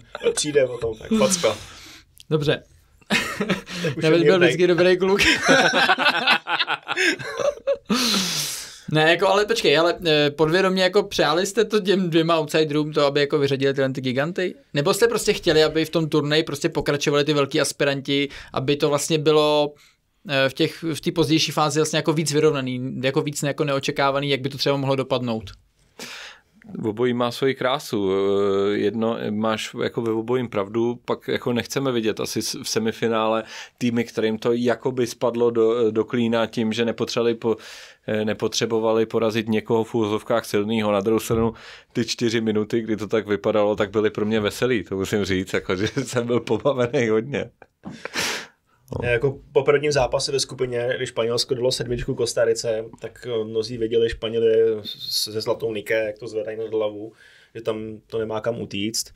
Pak ale přišlo trochu vystřízlivění, plichtička s Německem, no a pak prohra s Japonskem, taky Španělé si pěkně zavařili. No ale jako Němci, ty velký zklamání. Hmm. Velký zklamání. Tak jako trochu tušil jsem, že to není úplně v topu, ale známe všichni tu mentalitu, tu kvalitu, jakou mají. Vlastně souhru z Bayernu, ofenziva je celý Bayern, ale vůbec si to nesedlo, nějak to neštimovalo. Narazil jsi tam na něco jako takového atypického, co, co jako by bylo blbě, protože do šancí se dostávali, Zahazovali to. Jo, jo, dopředu měli, že jo, vlastně si vytvořili vůbec nejvíc šancí ze všech. Tam to asi jako všechno fungovalo.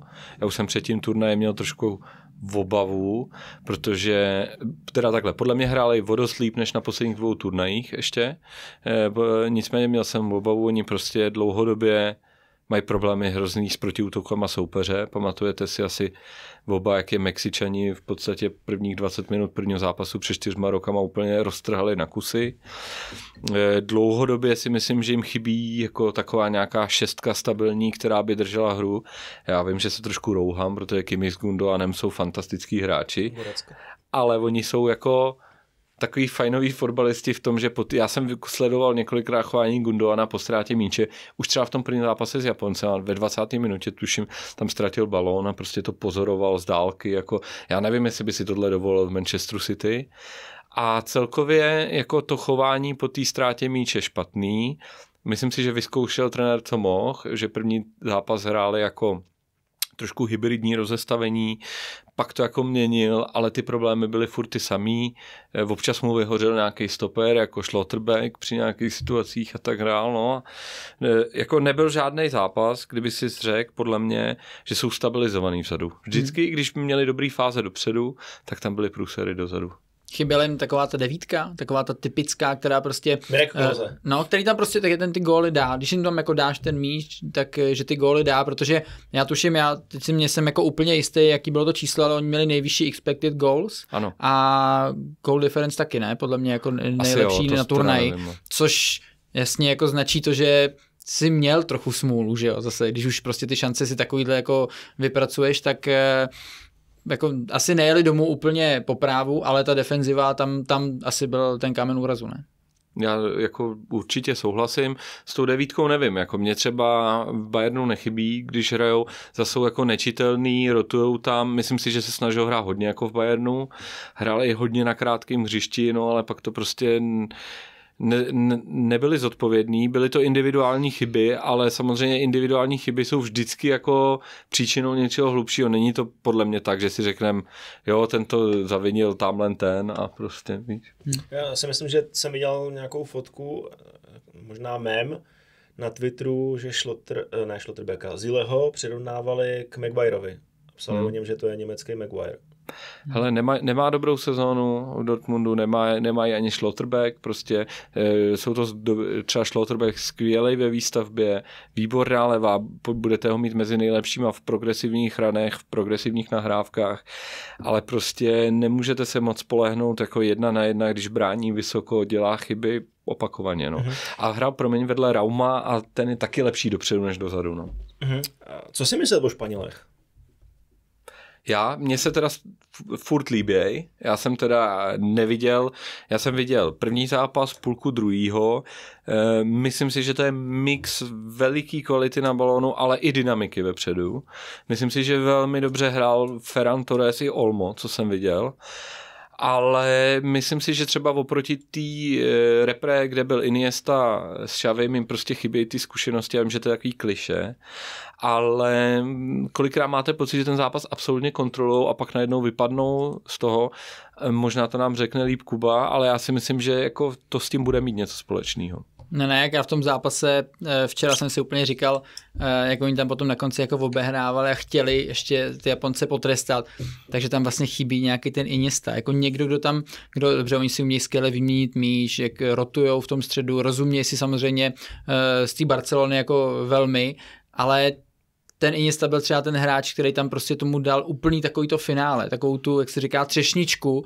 A asi je to i o těch zkušenostech, že jo, samozřejmě, že to prostě to vnímání té hry potom, uh, aby do té super zauštěné obrany jako něco extra vymyslel, je těžký. Tohle hráč tam samozřejmě asi i přirozeně nemají, vzhledem eh, tomu mládí těch eh, hráčů, ale Japonci si to pak pohlídali a musím říct, že jsem obecně na tom mistrovství vlastně překvapený tím, že ty favorité, stalo se to vlastně Japoncům, nebo Japonci to zvládli dvakrát s tím Německem, se Španělskem a to samý Saudové s Argentinou, že pokud ten eh, tým, který je jasný favorit, vstřelí gol, což by vlastně jako mělo znamenat, že ten slabší soupeř to musí víc otevřít, víc prostoru, oni budou hrát vejš, takže vlastně úplně ideální scénář, ale že ty slabší týmy to prostě dokázali otočit, jo, takhle. A to je pro mě, jako musím říct, jako docela překvapení, protože kdybys mi ukázal ten průběžný stav, že ten favorit vede ještě třeba v nějaké jako brzké fázi uh, s tím outsiderem,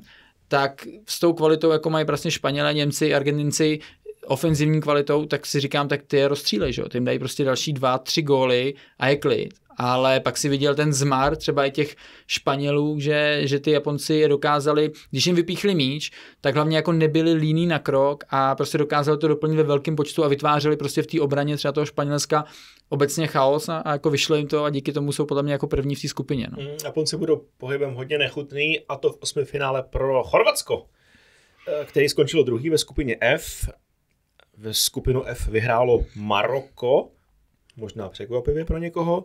Belgie nepostupuje a Kanada taky ne. Maroko, jak velký šok je, že získalo 7 bodů a jde z prvního místa?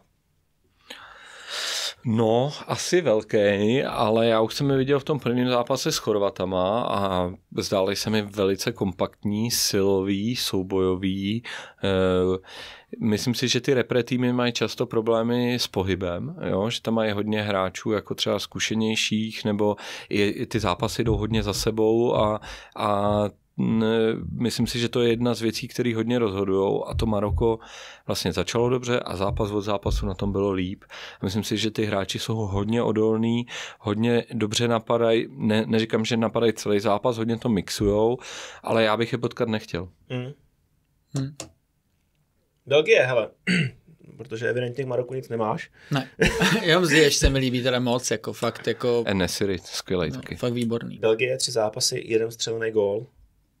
Ne, to je červená nit celým turnajem, jako u Belgičanů, to je průser za průserem, to prostě jako si říkáš, jo, dobře, tak tady to je jako problém, ale vlastně já jsem tím, že jsem nějakých těch kaus jako zažil víc, nebo prostě jsem je jako vnímal víc, vždycky jsem to, jako to vnímal jako velký problém, který se ve finále pak jako ukázal, že e, se to jako nafouklo, ale tady prostě za prvý hráli špatně, hráči se vyjadřovali na venek tak, jak se vyjadřovali. Dobrý, co to bylo. No, jako, ale těch bylo víc samozřejmě, jo. E, potom e, to, že tam jako jsou problémy mezi těma hráči a Ferntochen, jak se potom ohradil vlastně, že na, vepředu jsou starý a proto jim to nejde, takže toho bylo prostě tolik, že to jako dopadlo tak, jak to dopadlo. Já jsem si z začátku myslel, že De Bruyne já nevím, jak on úplně funguje v té kabině, že jo, ono samozřejmě... Že zdravě naštvat, něco takového?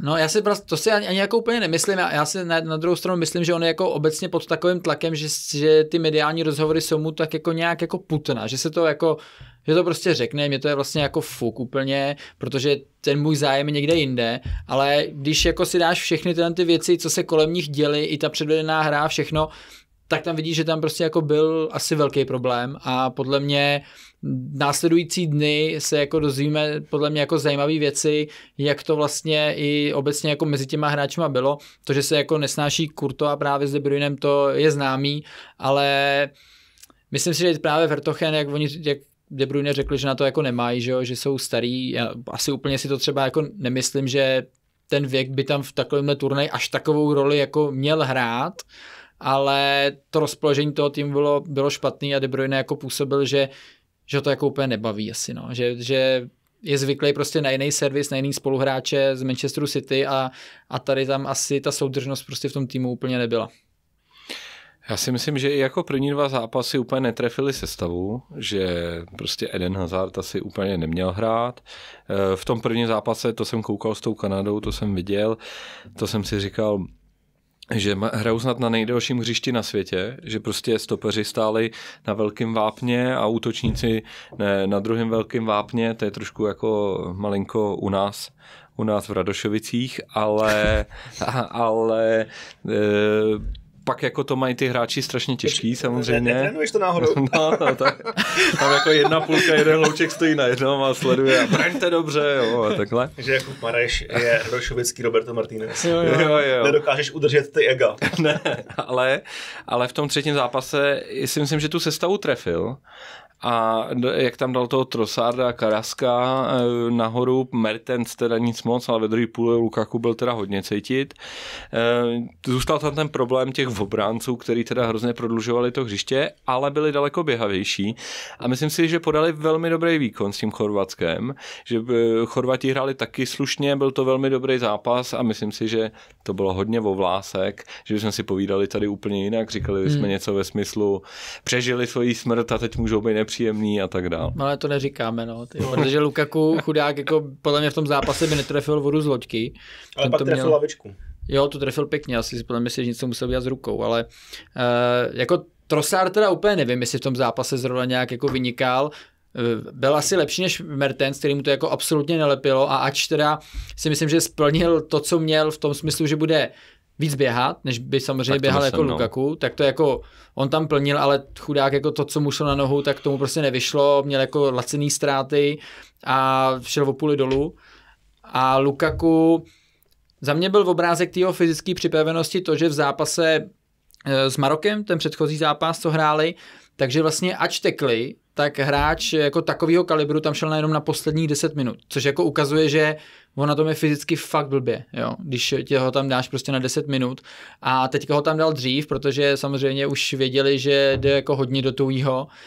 On se do těch šancí teda dostal, ale na něm jako bylo vidět, že jako fakt není v kondici, že jako zafuněný furt, ale když byl v tom vápně, tak tu šanci si našel, ale jako, jako měl fakt jako extra smůlu a úplně chápu ho, že byl rozhodně strašně zklamaný, protože to ti, to, to ti jde do hlavy, tohle to vlastně ještě, když to je jako za ten národák, tak že, že si zklamal ten národ v hmm. podstatě, hmm. protože jako sniper to je, Víš, ale to je? tady měl, no jako čet jsem o tom, ale v tuhle, v tuhle chvíli mi ho jako bylo líto a ty šance měl obrovský, ale jako jsem si jistý, že eh, když trošku bude v kondici, tak tohle to prostě bude z 90% určitě jako proměňovat. No. Hmm. Nicméně tady sedí někdo, kdo čekal, že třeba Belgie vyhoří na šampionátu. Byl jsem to já. Já, jako nikdo se nevyjadřuje, ale tak jako... Říkal, že jsou starý, defenziva špatně, mm, nezmiňoval jsem úplně problémy v manšaftu. Ale věděl jsi o nich? Ale, Jasně. ale věděl jsem o nich. Oni si volali. A skončilo to pro mě ne úplně jako překvapivě. No. Kanada, sympatiáci, ale, ale takový naivní. Jsem na ně zvědavý za čtyři roky. To může být hodně zajímavý na mistrovství světa v Americe. A Hrvati, ještě musíme taky o nich ztratit slovo, že? Musíme. Jedno, jedno jméno Guardiol, uh, rozdílový stoper. Rozdílový stoper. Výborné. Jako když vyvážel balón, ale i když vystu, vystupoval, dorážel vysoko do soubojů. Um, rozdílový stoper za mě, jako vedle Saliby bych si uměl představit. No a teď mi řekni, jak ho vnímáš v tom smyslu, že on jako ten balon i v tomhle tom posledním zápase třeba dvakrát jako absolutně skvěle vyvez. Dokonce tam udělal jako dvě kličky, já nevím, jestli to byl nějaký třeba 55-60 metrový run s tím míčem. No ale pak přiběh tomu vápnu a jako takhle to vyhodil vedle sebe metr Frejerovi, co stál, otočil se a on vlastně v té akci, to, to mě jako překvapilo. On se dostal k tomu vápnu, tam ten balon nahrál někomu jinému. A když ta akce furt jako pokračovala, tak on se, jenom, on se rovnou otočil a zády běžel zpátky na tu stoperskou pozici. A vlastně absolutně už jako nechtěl pomoct tím útokem. Mně to přišlo takový, jako Tam, můj jako, job tam splněn, přišel jo. pokyn od Modriče, mladý Vypadni. mazej dozadu. Vypadni. Frajer se musel sklopit uši. Ale dal to dobře. Dával to tam doleva někomu, teď nevím přesně, jestli to bylo Perišičovi, ale nevyhodil to, jo. Kolikrát vidíte, že ty stopeři to výborně vyvezou a pak úplně se jim to Hmm. zavře ty řady a je to strašně těžký, jako jo. A Hmm. myslím si, že to udělal dobře, jako. Hrál skvěle. Hmm. Modrič? Modrič, Modrič, ty jo, wow. Modrič.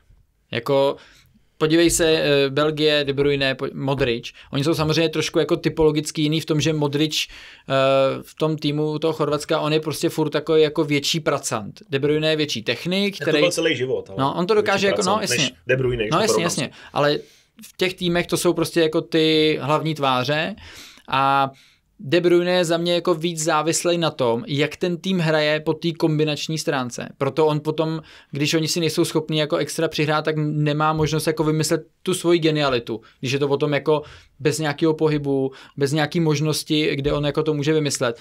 Ale Modrič ten prostě běhá všude možně, vezme si ten míč, eh, on třeba nemá žádný extra, jako že by si řekl wow, přihrávky jako topový, má taky, ale není to úplně jako De Bruyne.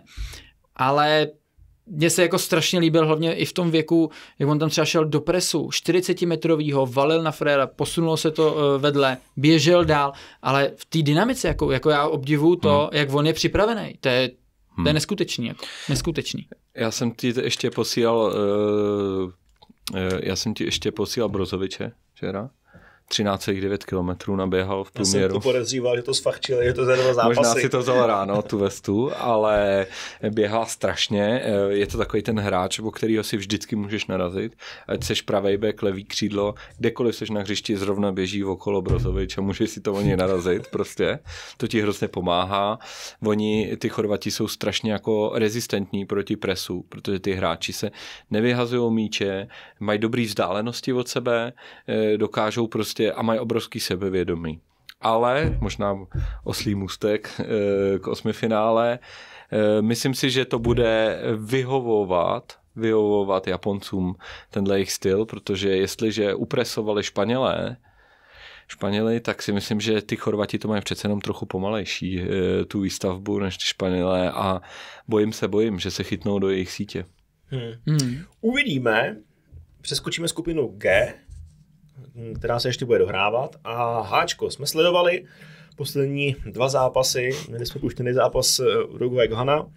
Vedle souběžně běžel zápas Portugalsko-Korea. Skupina se vyvrbila tak, že Portugalci ji vyhráli, mají 6 bodů. Na druhém místě je Korea, 4 body, ale dala 4 góly. Kdežto Uruguay taky získala 4 body, body a dala jenom 2 góly. Znamená to, že dál jde teda Portugalsko a Korea. Mimo hru Uruguay a Ghana. Portugalci, v tom se shodneme, s tím jsme počítali v osmi finále, ale s Koreou, mm-mm. Hmm. Já se tady, já mám, tady jsem si totiž psal tu live tabulku, že Portugalci takhle. No, Uruguay, desátá, desátý nejhodnotější tým byl celého mistrovství a ten poslední zápas to ještě jako mohli, že jo, tam se čekalo, že oni prostě půjdou na ten postup, ale, ale Korejci, jako já, jak, já když jsem se jedna, měl... jedna Portugalsku, Korea Jo. postupovali Uruguayci. Jo, jo, když jsem se měl, tak jsem si jako říkal, jak by se skupina mohla zamotat, jestli jako ta Korea má šanci s těma Portugalcema.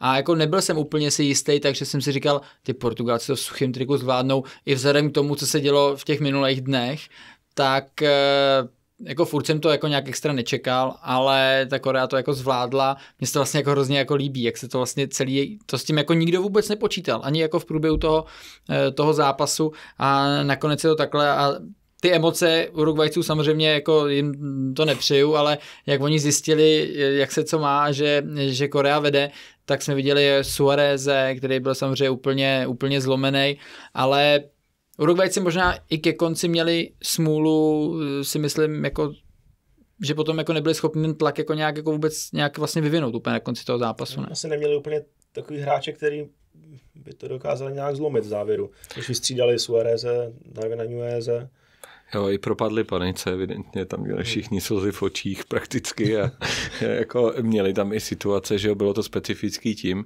že tak Hana chtěla taky útočit, jo, takže oni po zisku třeba běželi do třech obránců a mohli to, myslím si, i dohrát jako do vápna a jako trošku zbrklet, centrovali z dálky, stříleli, myslím si, že je jako přemohli emoce, no. Hmm. Tady bylo jako, David vlastně říkal to průběžný skóre, Korea, Portugalsko 1-1 a že jako říkal, že pokud stačí jako jim jeden gol na to, aby postoupili v téhle konstelaci a v tu chvíli, jsi to řekl, tak ty si smrknul na live sport, ne, a už tam píplo, že to je 2-1 a v tu chvíli začal jako úplně nový příběh a ještě bych se zastavil u Portugalců, ale teda ty, ty, jo, ty, taky jsem se tam chtěl jo, zastavit, no. Že dneska teda byla obměněná sestava, jediný Cristiano zůstal, jak ty si říkal správně, že si chtěl jako nahnat nějaký stats, ale oni tím prošli jako úplně v pohodě a do toho posledního zápasu samozřejmě jako se mohli pošetřit, ale já úplně asi nevidím, že by to mělo trvat dlouho tahle ta pohádka, no.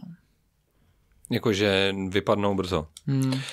Já když jsem je viděl tady proti nám, tak jsem si říkal, wow, to je jako manšaft neskutečný, jako dynamika obrovská, tam hrál, že Dalot lítal po jedné straně, po druhé Leao. Eh, ani jeden to z ještě nich Dalot je vlastně druhá varianta. Ani jeden z nich nehraje. Celkově ten tým mi ne, nepřijde tak postavený jako do tolik do rychlosti a jsem z toho takový, jako souhlasím, souhlasím s tebou, já jsem je viděl i s tou Uruguay a ani tam si nejsem úplně jako jistý. Myslím si, že kdyby Betancourt tam proměnil to svoje neskutečné solo, tak taky to mohlo vypadat jinak, ale bude to playoff, budou hrát asi se Švýcarama nebo Srbama těžko říct, těžko říct, pak by mohli jít na Španěli, derbíčko, uvidíme. Jako furt zůstávají na papíře skvělý, na tom se shodneme. A je proto velký překvapení, že sedí na prdeli Rafael Leao? Obrovský, obrovský. Pro mě jako jedna věc je teda nějaká datová analýza, tak to jako je strašně zajímavý hráč. Nejenom, že jako kvality jako na balónu, ale je i hrozně pracovitý. Na to nechcete hrát. Porazí vás ve všem, porazí vás ve vzduchu, udripluje vás, uběhá vás. Prostě na, tam zpátky a teď jako teď jako nehraje, je to pro mě těžko vysvětlitelný, jediný, co mě napadá, že prostě chce mít to Joao Felixe jako na mezi prostoru, aby ten Nuno Mendes jako lítal okolo něj a nechce tam jako dvě takovéhle motorky, ale jinak nevím, nedokážu to posoudit. Je to pro mě záhada. Hmm. A nebyl ten Leo ten, který vypověděl tu smlouvu a pak to za ní musí doplácet náhodou? Nevíte to, to tehdy? Rafael Leao? Jo, já myslím, že, já myslím, že to je on a pak za ně doplácí docela jako velký bambilion, ale to je jedno. Hmm. Je to jak, já myslím, že to je on, ale no. Hmm. A chtěl bych ho v Arsenalu, by se tam hmm. hmm. zapad. Hmm. Uh, každopádně Korea zapad, druhý no. místo dobrý, ne? Tak si zapad, zapad by. Chodil by na 10 minut za Martinelliho. ale Arteta by dostal další jako palebnou zbraň na lávku. Na FA Cup. Uh, Korea, no, tak si prodlouží šampionát o jeden zápas, protože nejspíš osmi finále narazí na Brazílii, což znamená konečnou Koreo, sorry, je mi tě líto. Doufám, ale... že ho to bude mrzet. Ale... Ty vogo, to mě, to mě, mě by to teda mrzelo taky. Ale z Brazílie to... si nepinkneš, co? No, kdyby jako, kdyby Brazílie vypadla... Ne, to se nemůže No, stát ani snad. Jako, Jako, ještě to řekne třikrát a stane se no, to. vypadnu dneska ještě. Kontumace. jo. Registračka někoho jiného. A, a loučej se. Ne, jak, uh, skupina G, ta poslední, která se ještě bude dohrávat, protože eh, Pody musí jet, hlídat děti, takže jsme to nemohli bohužel natočit později. Jako před krvím už jsou v pytli, Davide, to víš, jako to už to, to nechytneš už. Hele, Kamerun Brazílie, jenom rychlosti Brazílie, i když bude třeba rotovat, tak to zvládne, že jo? Bez debat. A Srbsko-Švýcarsko. Vole. Tvůj černý kůň, můj černý kůň.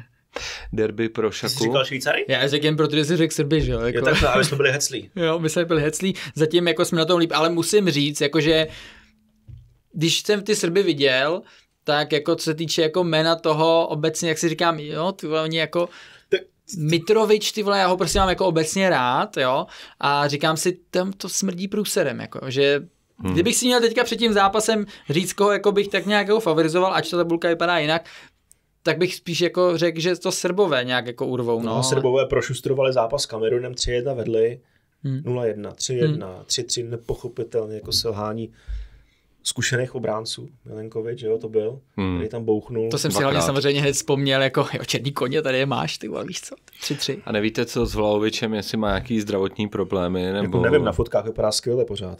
no, Na Instači. trošku mě to překvapuje, jako takovýhle hráč. Je to že- divný. Co ty, Srbsko-Švýcarsko? Strašně těžký, strašně těžký. Myslím si, jako, že ten takový ten fotbalový talent je na straně Srbů. Švýcaři pro ně bude jako taková ta organizace. E, myslím si, že trošku mě překvapuje, že Švýcaři zase nestaví útočníka ze Salzburgu, bohužel si nespomenu na jeho jméno. Už tady mám sestavy, Ry- rychlosti to projedu, jo. Rychlej náběhový. Uh, Vania Milenkovič Savič bráně, srbská Milenkovič Velkovič Pavlovič, Živkovič Milenkovič Savič, Lukič Kostič pod kopcem Tadič a nahoře Vlaovič Mitrovič. Takže konečně to takhle postavili. A Švýcaři Kobel, Widmer, Akanjiš, Rodriguez, Freuler, Čakasov, eh, střední záloha, Shakiri, Embolo a Vargas. Takže Šaka, Šakiry, velký derby pro ně. Já myslím, že ty to rozhodnou. Tyhle dva, tyhle dva to rozhodnou jako před čtyřma rokama. Nebo před dvouma to bylo. Švýcary? No, já si myslím, že vyhrajou Švýcaři. No. Nebo jako nevím, jestli vyhrajou, ale budou hrát poctivě na bodíček a pak, pak začnou zmatkovat ty Srbové.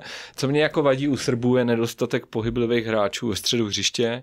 Všimli jste si, že to, mě, to je téma, který mě jako furt baví, ale, ale myslím si, že to je těžký jako hrát bez hodně pohyblivých hráčů. Jo? Že ta kvalita je obrovská, ale záleží, na, jak tohle zvládnou. No. To máme teďka plnou hlavu ty souboje našich černých konňů a nevidím to tak jako, tak válně teda pro nás, pro nás Ne, jo. Švýcary teda. I ty Srbové zatím moc nenadchli. Jako zatím se mi zdají lepší na papíře, než potom v realitě. No. Ale Dneska to je zápas o všechno, tam to přijde. Bude válka. Já bych to přál Srbům, no. ale nevidím to. Jo. Mhm. Jo. Mm, Co jsem tady ještě chtěl zjistit? Uh, nic asi úplně konkrétního, to už jsme teď se vystříleli. Ne, ne, ne, ne, jako myslím, myslím k těm skupinám ještě. K těm skupinám. To jsme se vystříleli, ale pokud dát jakoby obecně pavouka, kdo vypadá dobře podle dat aktuálně z těch postupujících? Jako z těch týmů, jo. Hmm. Tak dobře, dobře, to jsme asi probrali. Jako pro Kdo je mě to jako největší favorit? Jo, favorit bude asi určitě jako Brazílie. Ta prostě proti ní si nikdo nevypracovává vůbec žádné šance a není divu, když se na to podíváte. Oni jsou i turnajově postavení, to znamená, nehrajou žádný velký dobrodružný fotbal, což hraje i pro tu Francii, která taky nehraje zas tak dobrodružně, tohle prostě ty turnaje vyhrává. Defenziva? Dobrá defenziva. Vyváženost a hodně defenziva. Prostě ty Němci Mm. na tohle dojeli. Myslím si, že i Anglie jako hraje tak jako konzervativně. Tam nevidíte to, co u Němců, že budou mít šest lidí ve vápně a budou krajní beci vysoko a nachytá to je na ten rychlej break. Eh, Ty si myslím, že se taky poučili. No, jako ne, já ne, ne, jako největší favorit je Brazílie, ale samozřejmě vyhrajou Chorvati. Jako vždycky. Teď, se, je úplně, z- teď si úplně zdehonestoval celý to tady své vystoupení, tohle. Ne, no tak eh, jsem to eh, probral analyticky a pak rozhodlo srdce samozřejmě. A, a kdo vypadá dobře z hráčů? Z hráčů, eh, tak eh, zmínili jsme, zmínili jsme samozřejmě Messiho s De Bruynem, to je jasný. Já Počkej, počkej, samozřejmě... De Bruyneho? Eh, Pardon, Messiho s Bapem. Já jsem si tady samozřejmě udělal nějaký domácí úkol, tak jsem koukal, že třeba z těch Srbů Milinkovič Savič má po Messim nejvíc chytrých nahrávek na celém turnaji. Golman, jo, to je dobrý. Vania to vidí Vypadá, hrozně. vypadá vidí to. fajnově. Vidí to, jo. Hele, eh, třeba mezi nejlepšíma driblérama je eh, Musiala, Dembele, Di Maria, to vás asi nepřekvapí, stejně jako progresivita, to znamená nejenom, že to kluci motají, Mhm. ale i to posouvají dopředu. Takový hráči jsou cený. Já bych přihřál, přihřál trošku polívčičku.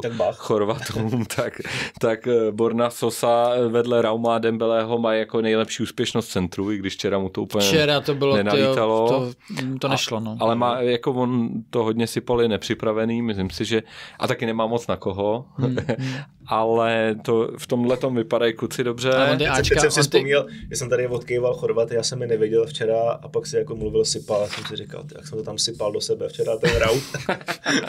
jo, Jak správný to chorvat ve ráno. to jsem neviděl, ale jako vlastně si to dokážu představit úplně, no, jako velmi dobře. Ale toho, cigareta. a ten Sosa, ten má jako obecně jako vždycky hodně asistencí v Má, těch má sezónách, v že tom fakt je vidět, že tu kopací techniku má fakt jako To byla fantastickou. no. dvojice Sosa, Saša Kalajačič, vysoký útočník a mezi nima bylo 14 gólů, tuším minulou sezónu, něco takového. Hmm.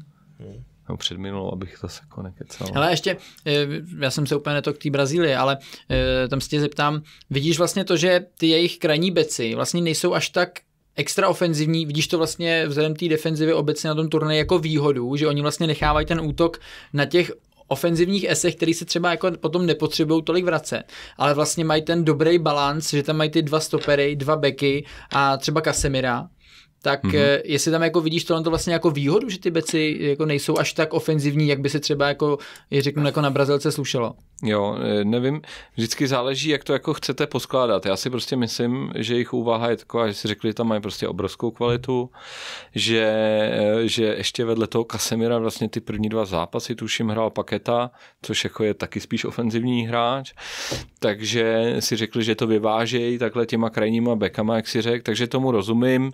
Eh, oni asi nepotřebují hrát úplně na to, aby ty soupeře uhnali, těma, jako aby ho donutili hrát nahoru dolů sprintersky, oni si ho pěkně asi připravějí, ho grillujou dokola a pak to rozhodnou ty jejich rozdíloví hráči, takže si myslím, že to smysl dává, jestli to je vyloženě výhoda, to asi neumím říct. Hmm. Jako, no. Jako přišlo mi, co jsem viděl, ty zápasy v základní skupině, že máš tam samozřejmě pracovitý manšafty, máš tam týmy, které jsou tak konsolidovaný, technicky zdatný a pak je Brazílie.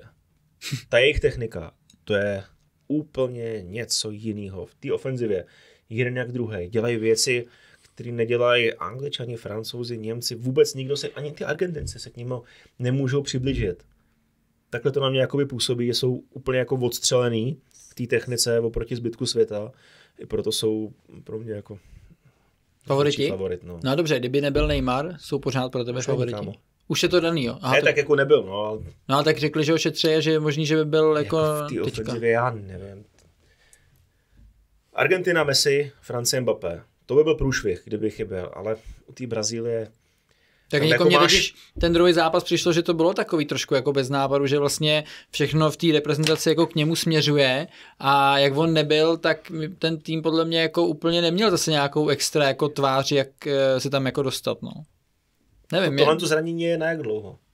já úplně nevím, co on přesně má tam, ne, já jsem, Nebo já, kotník, no, No já vím, jako ale jestli tam má natažený vazy, ale já si právě myslím, že ty vazy asi nemůže být natržený, protože kdyby je měl, tak jasně řeknou, že nebudeš, jo. To Hmm. znamená, že podle mě ten kotník má jako nějak jako pochroumaný s tím otokem si s těma dnešníma věcma, který prostě na tu regeneraci se dokážou jako velmi rychle poradit a pokud tam nebude podle mě nějaký jako vazivový problém, tak si myslím, že on s nějakýma, jako, nějakýma práškama jako nastoupí. Já to aspoň teda takhle cítím, jo? ale nevím, jak ten problém je. No. Pak má vlastně volno do nějakého 9.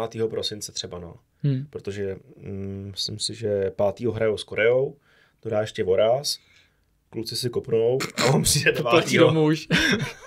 Já si myslím, že na tomhle turnaji není úplně radno jako tohle to No. říkat.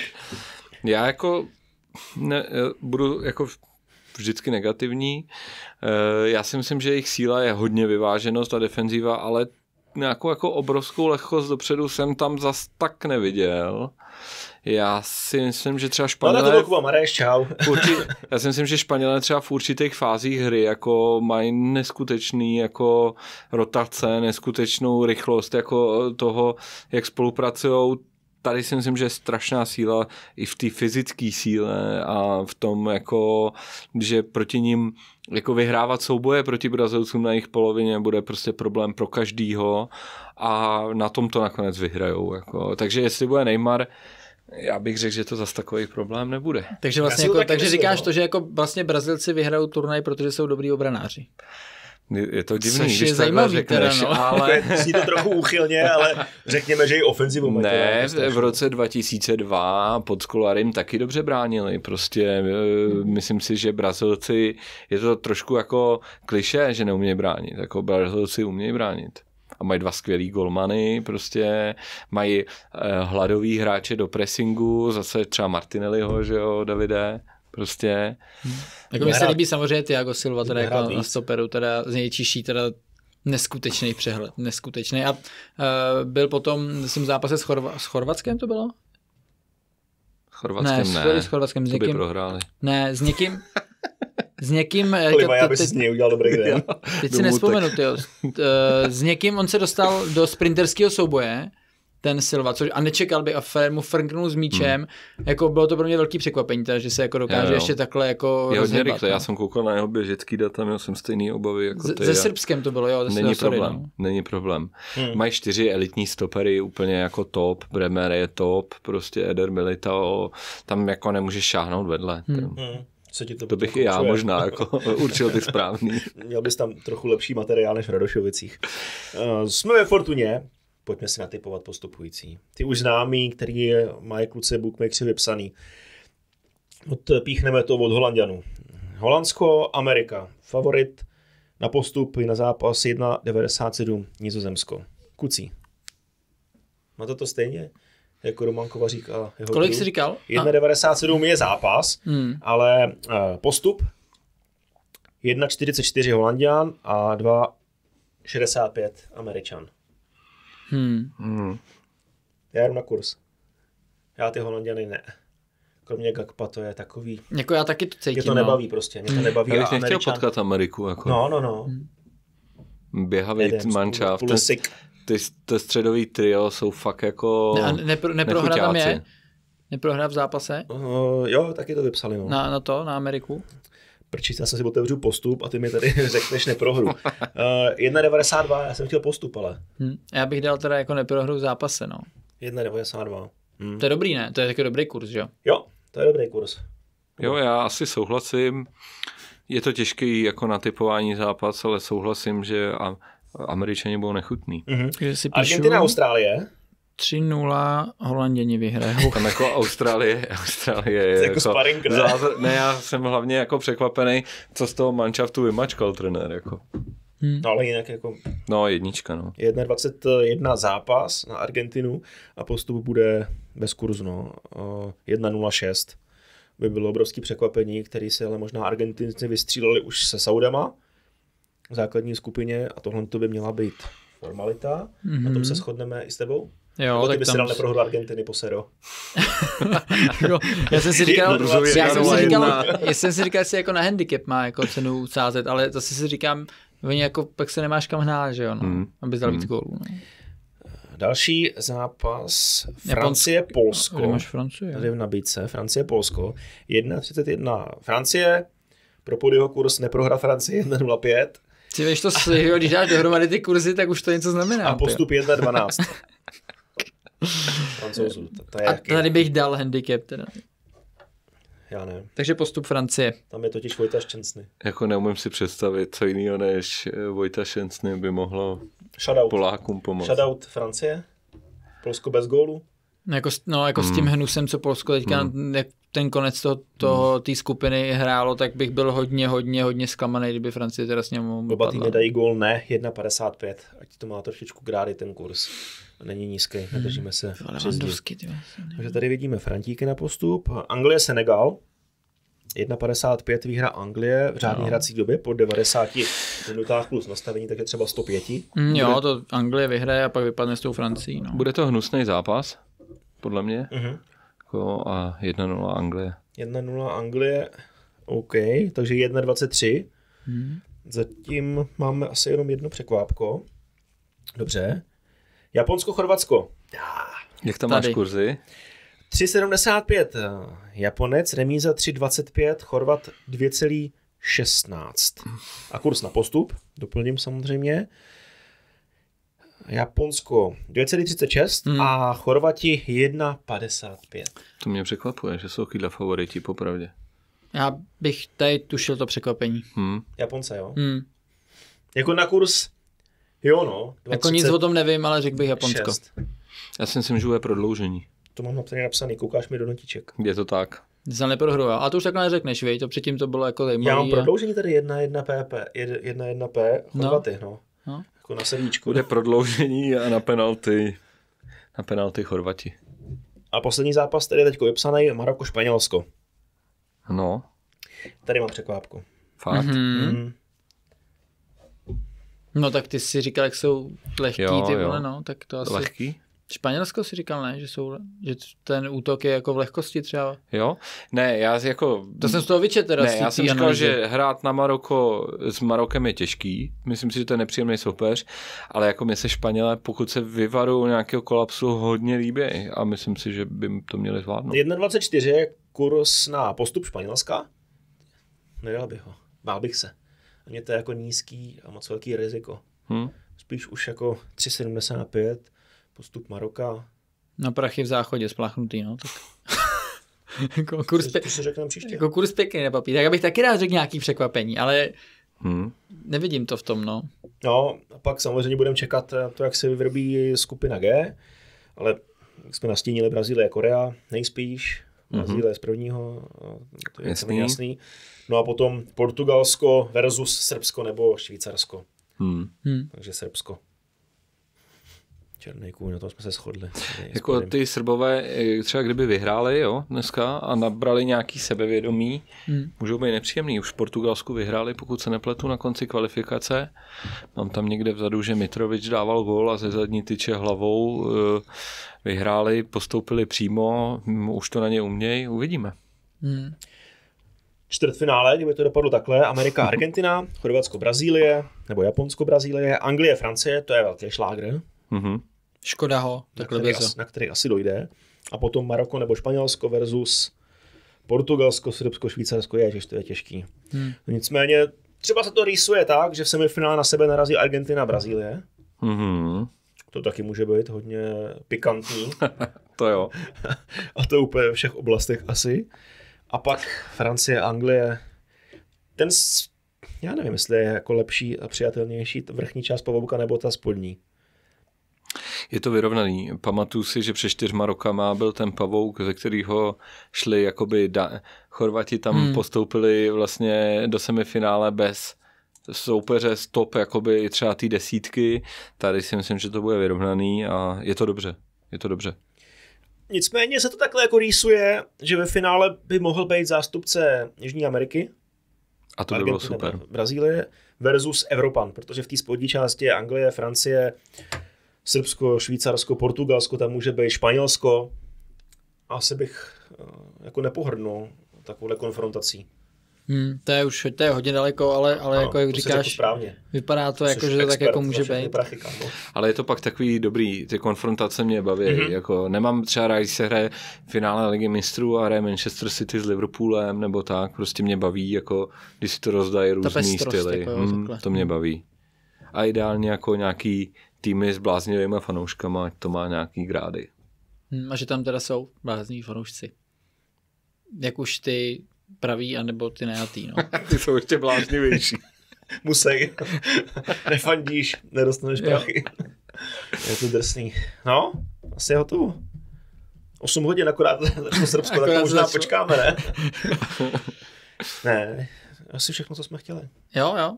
Ale Kubo, překvapivě delší, než jsme jo, plánovali. jo. Kubo, bylo to zajímavý fakt, dík. Musím říct, že to máš jako najetý a jako, já už tě samozřejmě znám nějaký pátek, takže vím, že tomu rozumíš, tak to v tom vlastně jako úplně nepřekvapil, ale obohatil si mě. Kluci, já děkuju, váš podcast sleduju, líbí se mi, takže si cením i pozvání. Už to strašně smrtí jsem mohl. No, ale což to je, Jsme to se je všichni to, pochválili. je to trapný. tohle to vystřihneme a dáme to znovu. Jako Ještě jako David začátek na počkej, konec. počkej, teďko mi to došlo, vy jste nepochválili mě vůbec, jenom sami sebe. tak když to to došlo, tak, tak nic, to konec. vole. A Ok. ani jsi to teďka nevyžádal. Bylo to nenásilný prostě, no. Zkusil jsem to. Ale díky moc za poslech a za sledování. Věřím, že pokud natypujete proti nám, tak eh, by se z toho něco mohli vytřískat. A je tam samozřejmě... to odstřihnem. Je tam- je tam samozřejmě ještě eh, pořád bonus eh, od Fortuny, který najdete v popisku eh, videa, takže jestli eh, se vám nějaký tady eh, analýzy od eh, Kuby Mareše eh, líbily, tak eh, to můžete otočit a třeba budete mít eh, šťastný tiket. Jo, a kdybyste měli nějaký pozvánky na vánoční večírek, tak klidně na mě. jsem v tom dobrý. jo, a nebo rovnou ty zbytky pošlete potom. Ne, ne, ne, Davidovi. pozvánky, Zabíčky do pozvánky. krabice. Pozvánky, vyhodnotíme si, zjistíme, jestli máme čas. A jako budeš já- dělat rating nějaký vánočních večírků třeba? Když mi dáš nějaký ten tvůj graf, tak tam jako můžu zakomponovat. Nedavid dělá datovou Metrika. analýzu, víš, na, na cateringy. Metrika, catering, hudba. Ale musím říct, že už, to je, že už je to po druhý, co normálně lidi vyzýváš na to, aby ti dali pozvánky, ač nechtějí. Ještě někde jsem to o tebe zaslech nebo viděl. No. Po druhý už to je, je to takový jako už úsměvný, Teď no, nevím, ale, na co narážíš. Že už jsi takhle jako někoho se snažil jako vyvinout nátlak, aby tě pozval, no. Jo, kam? tak my se s Davidem známe dlouho. A... Kam? Na, jako, na nějaký jako random večírky, víš, vánoční. Teďko nevím, kam míříš vůbec. Ale jako fakt bez srandy, nevím. Ne, tak to necháme to být, já věřím, že to třeba jako nějaký menší část Na Instagramu jsem možná házel laso, no. Jo, tak tam možná, no. Jo. Někde jsem to čet nebo slyšel od tebe, no. Jsem free to večírek. Jo, jo, tak tam to asi bylo, jo, jo, jo. Mám A po, jako povedlo se, když na dva po sobě, takže skvělý. Mhm. Děkujeme. je začátek teprve. Děkujeme, děkujeme eh, za poslech, děkujeme za to, že jste uh, tohle video uh, třeba na YouTube viděli a vidíme se před finále, ne? Bylo by to fajn, no. OK. Je to Kubo, dík. Chystáme hosta, snad to klapne a jestli to klapne, tak to bude velký. Díky kluci. Díky, díky, že jsi nás tady obohatil a věřím, že se uvidíme ještě někdy, i když v Lize to bude těžký. Tak už jedeme druhý kolečko samochválení. Jo, jo. Uh, ahoj. Super podcast. Čau.